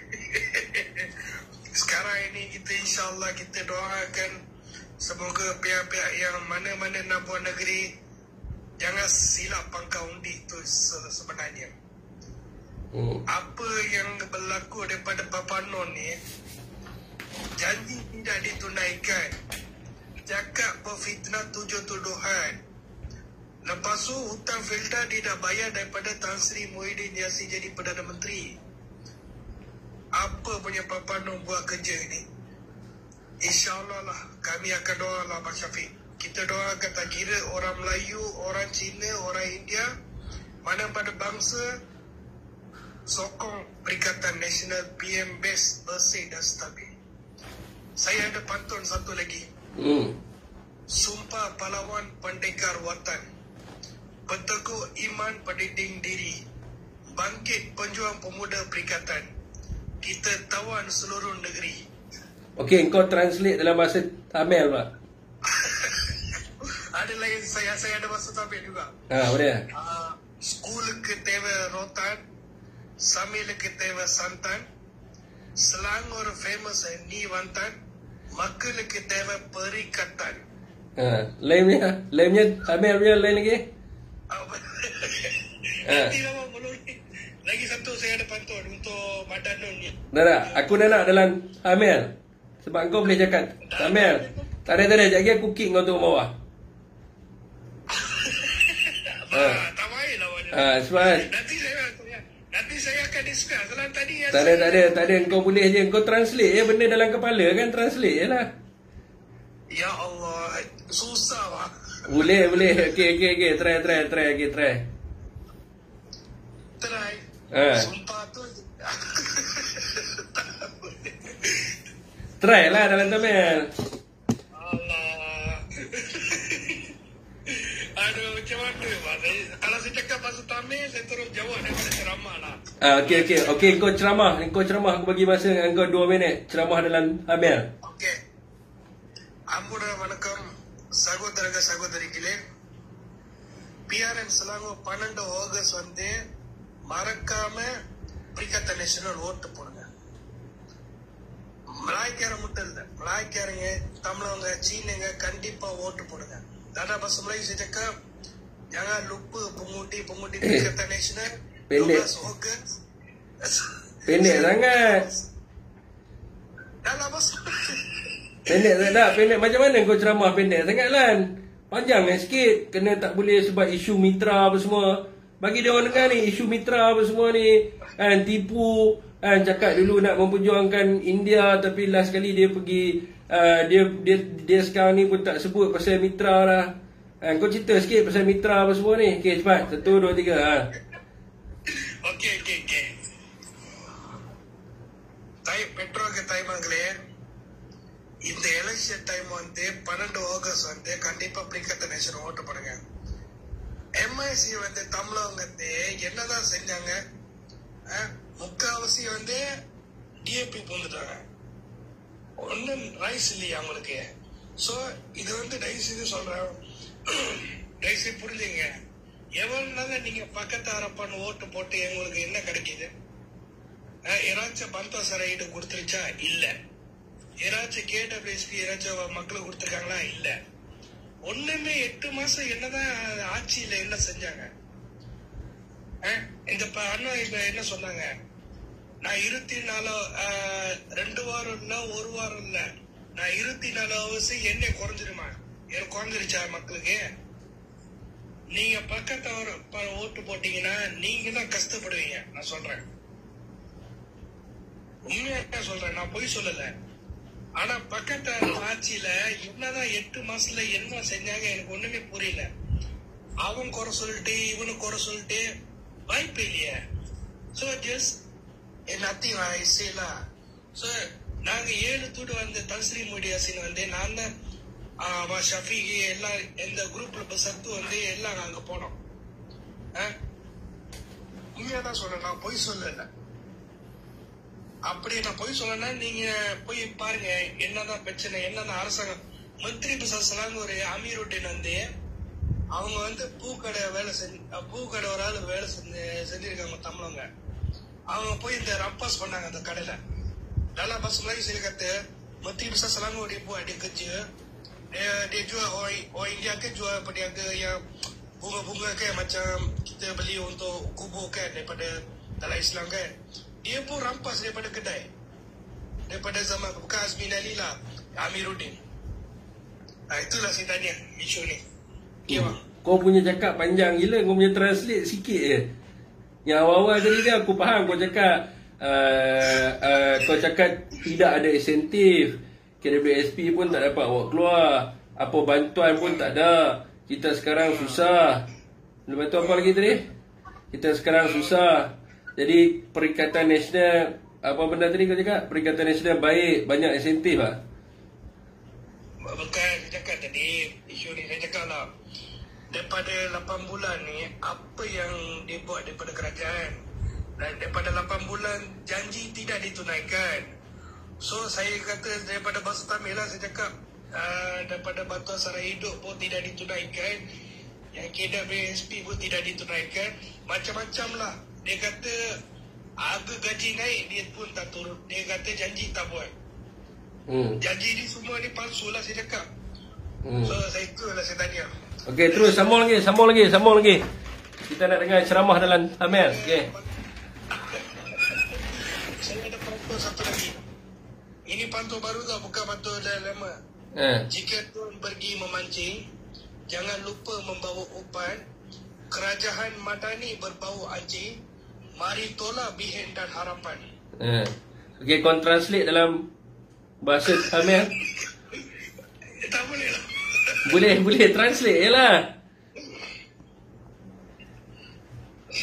Ah, ஸ்கூலுக்கு தேவை ரோத்தான் சமையலுக்கு தேவை சந்தான் PRN slang ஒரு ஃபேமஸ் நீ வந்தான் மக்களுக்கு தேவை பெரிக்கத்தான் Tak, tak, bukan.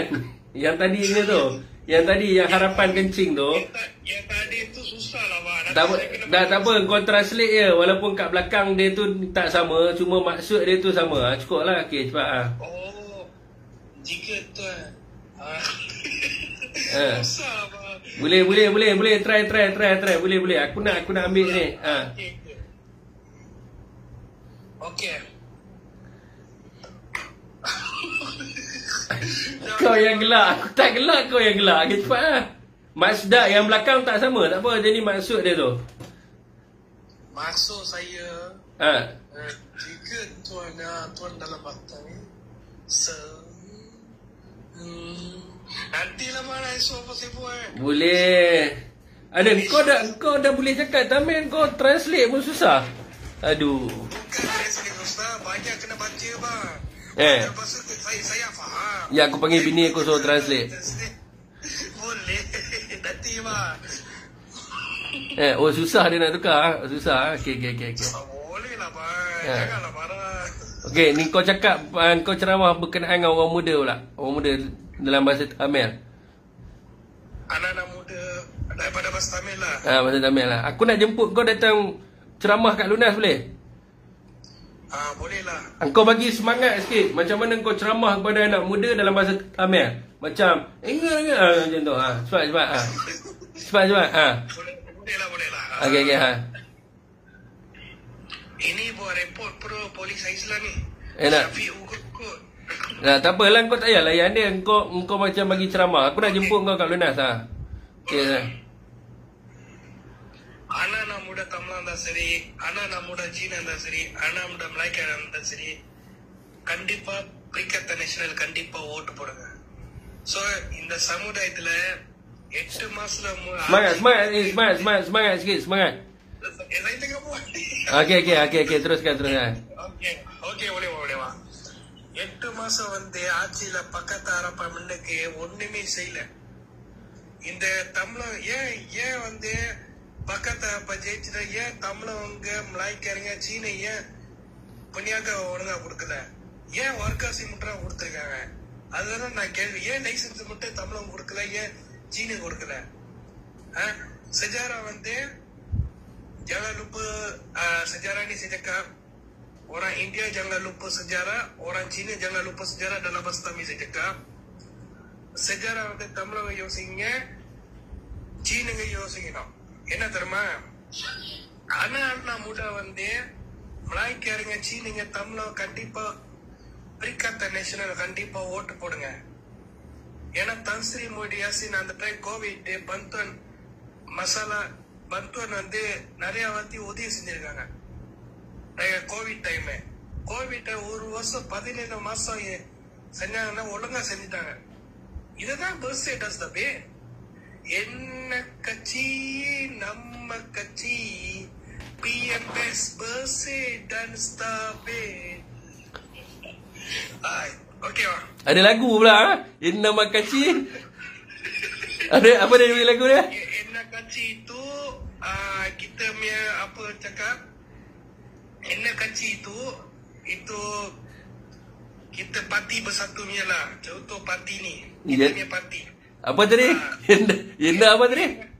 Enna kaci, nama kaci. Yenda kaci, nama kaci. Maksud dia? Maksud dia Enna kaci tu eh, kita punya parti ni sendiri. So parti ni nama kaci tu parti sendiri. So saya cakap PM best bersih dan stabil. Ha, Yenda kaci. Yenda, eh ni 22 ni kau ikut aku lah pergi ceramah kat Lunas. Kat mana pak? Eh, tapi ceramah kena 20 minit. Kau boleh 20 minit?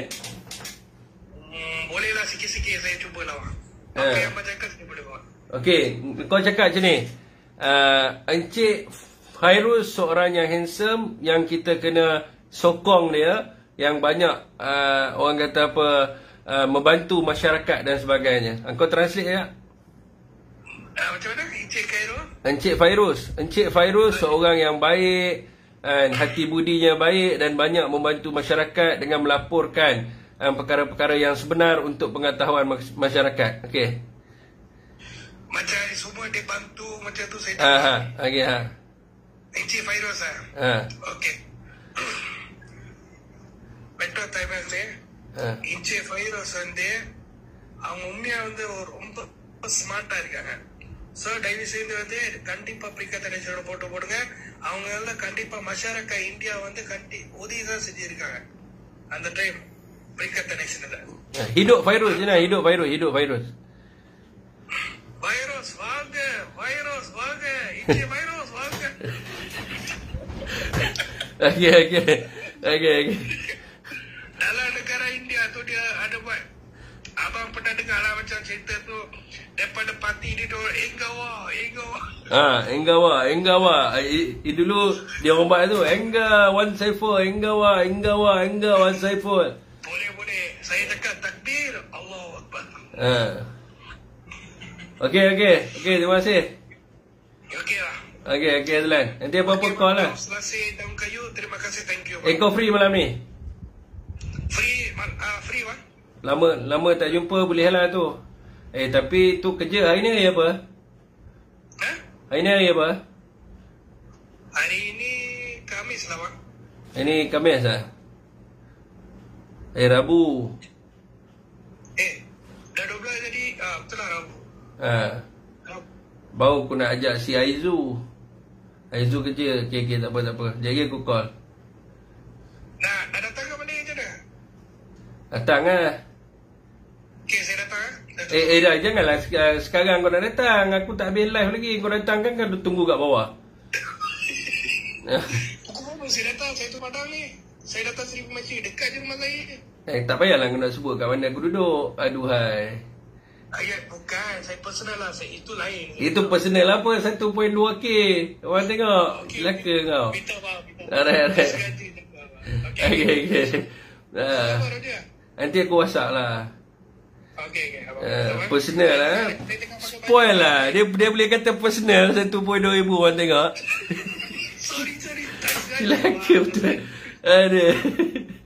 Alright, alright. kasi maisuri je. Ah. Mana ada orang nak bagi tahu semua. Ha. Okey, okey. Uh, abang, macam mana? Saya, saya pakai baju sekarang? Kau nak pakai baju pun bagi tahu aku. Kejap lah. Aku habis live pun belum lagi. Kau kalau nak jumpa aku je, cepat-cepat je. Tak, kali ni kau kena belanja aku teh tarik. Ah, belum lagi gaji, bang. Sabarlah. kau nak minum, laju ya kawan. Ah. Yelah, abang kita lama tak jumpa. Ah, kau pusing, kau pusing, kau pusing eh, kau pusing. Pandai kau pusing. Tapi mak tapi malam ni kau belanja aku ah, teh tarik, aku teh tarik ya Lan. Gaji 23 belum dapat lagi. Bang, free pun belum dapat lagi. Macam mana ni? Kau kena kod kan? Ha, itulah masalah dia. Dia kalau dia dia kalau dia kalau kata geng-geng ah, ni line clear Honor, maju, ah, ni semua kena kod semua ni. Ah, saya bukan ahli maju bang. maju kan dia kalau yang belakang-belakang bistro, corner, clear, maju, berkah, ah, ni semua kena kod sebenarnya geng. Nanti saya memang nak naik belanja insyaAllah tunggu. Eh, eh, eh. Alright, alright, alright. Ah, melawak, melawak Alan. Okey. Ah. Okay, okay. Alright, alright. Okay, thank you. Apun makan padi. Ayu ramai-ramai. Perikatan Nasional kita undi. Ha, dia ni lah mamak yang tiap hari pantun dengan aku. Aku main naik penin. Kan? Tiap hari dia pantun. Tapi bagus lah. Hai, eh, you patut pergi Penang lah. Eh, eh, tapi dia tak boleh. Nenek Puda, dia bukan dia cakap Penang. Dia mamak KL. Dia saya, saya punya mamak. Awak saya punya mamak dia tak best. Dia kena Penang punya tau. Lah, kena belajar cakap Penang lah.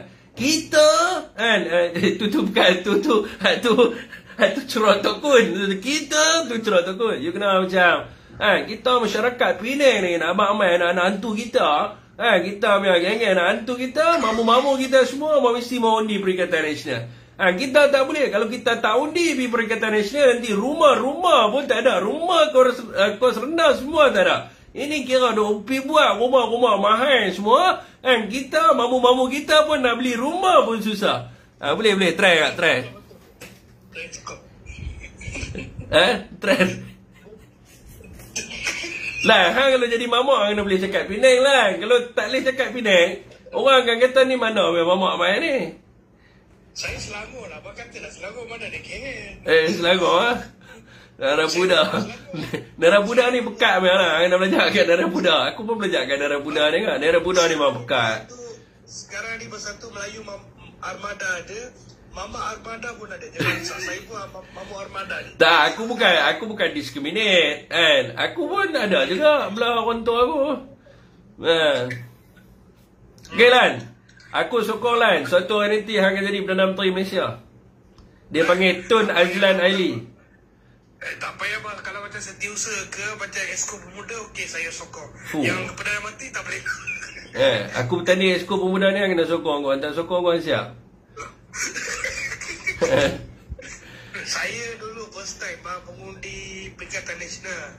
Eh. Bila first time ni saya memang saya memang pangkal undi. Saya ada satu pantun.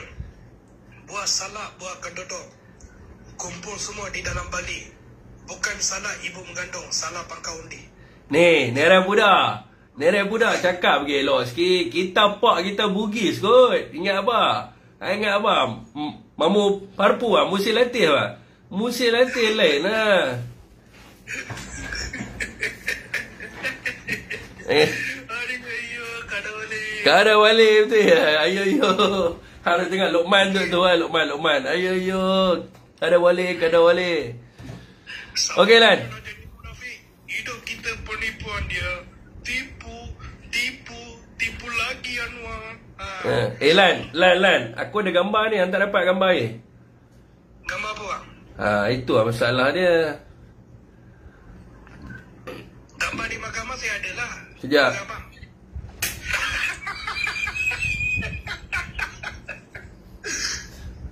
Ini ras- rasa rap, apa sikit negara.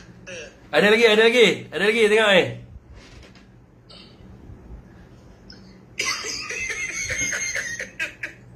Ada lagi. Ada lagi, ada lagi.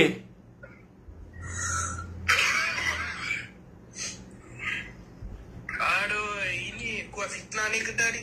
Ha. Ni, ni, ni semua pemimpin-pemimpin Kedah ni. Ni Mak Epaik. Ha, ni. Ni, ni seorang lagi. Yang ni rajin masuk dalam live. Make on signboard.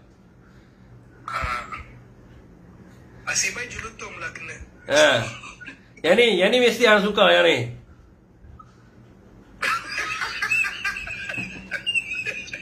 Cak ubah betai. Cak, cak ubah betai. Ha. Tapi ambil kuat berat, dia ambil sikit berat dia betul ambil dia. Ha. Yang, yang tu paling famous kat Kedah. Cak ubah betai. Dia ada baju dia, nak beli tak baju dia? Baju dia geng CUP. Anda nak tahu apa CUP? Upi tak pernah dengar bang. Ha, tim Cak Uban Petai. Tim tim kap kap. Tim kap. Tim kap tau, tim kap. Ha, tim Cak Uban Petai. Ha. Okey lah lah, okey lah. Bagi kat lain pula. Merampung ha, mampu eh, semua. Eh. Okey Okey, okey. Okey. Abang bagi tahu lah, saya pun tak tengah tidur ni. eh. Ha, rek, rek, rek. Okey, abang pa- bagi pukul berapa Ah, right, right. Nanti aku mesej hang. Okey. Okey, Assalamualaikum. Waalaikumsalam warahmatullahi wabarakatuh. Tim Cup ah. Depa nama- nama-nama pemimpin depa kat Kedah. Tak layak semua jadi YB. Orang tanya, YB mana? YB make on make on signboard. YB cak uban petai, Y- YB mak eh eh apa? Mak eh pipe kan. YB zam capang. zam capang. Joe Doraemon. Di Kedah dia pun punya nama YB teruk-teruk mah. Joe Doraemon betul tak baik. Kan? Aduh. Tim Tun Hit eh. Pakcik Sabri tak ada kami eh. Mak Lembu kan. Nama parti dia pun apa logo logo parti dia pun hak geng-geng gas hak pergi report dekat Tan Sri Mudia si eh, dekat dekat MB Kedah tu. Hamba tahu depa main pada hati mana? Saya saya nak tunjuk hamba. Hati mana depa main? Ha, depa main daripada hati ni.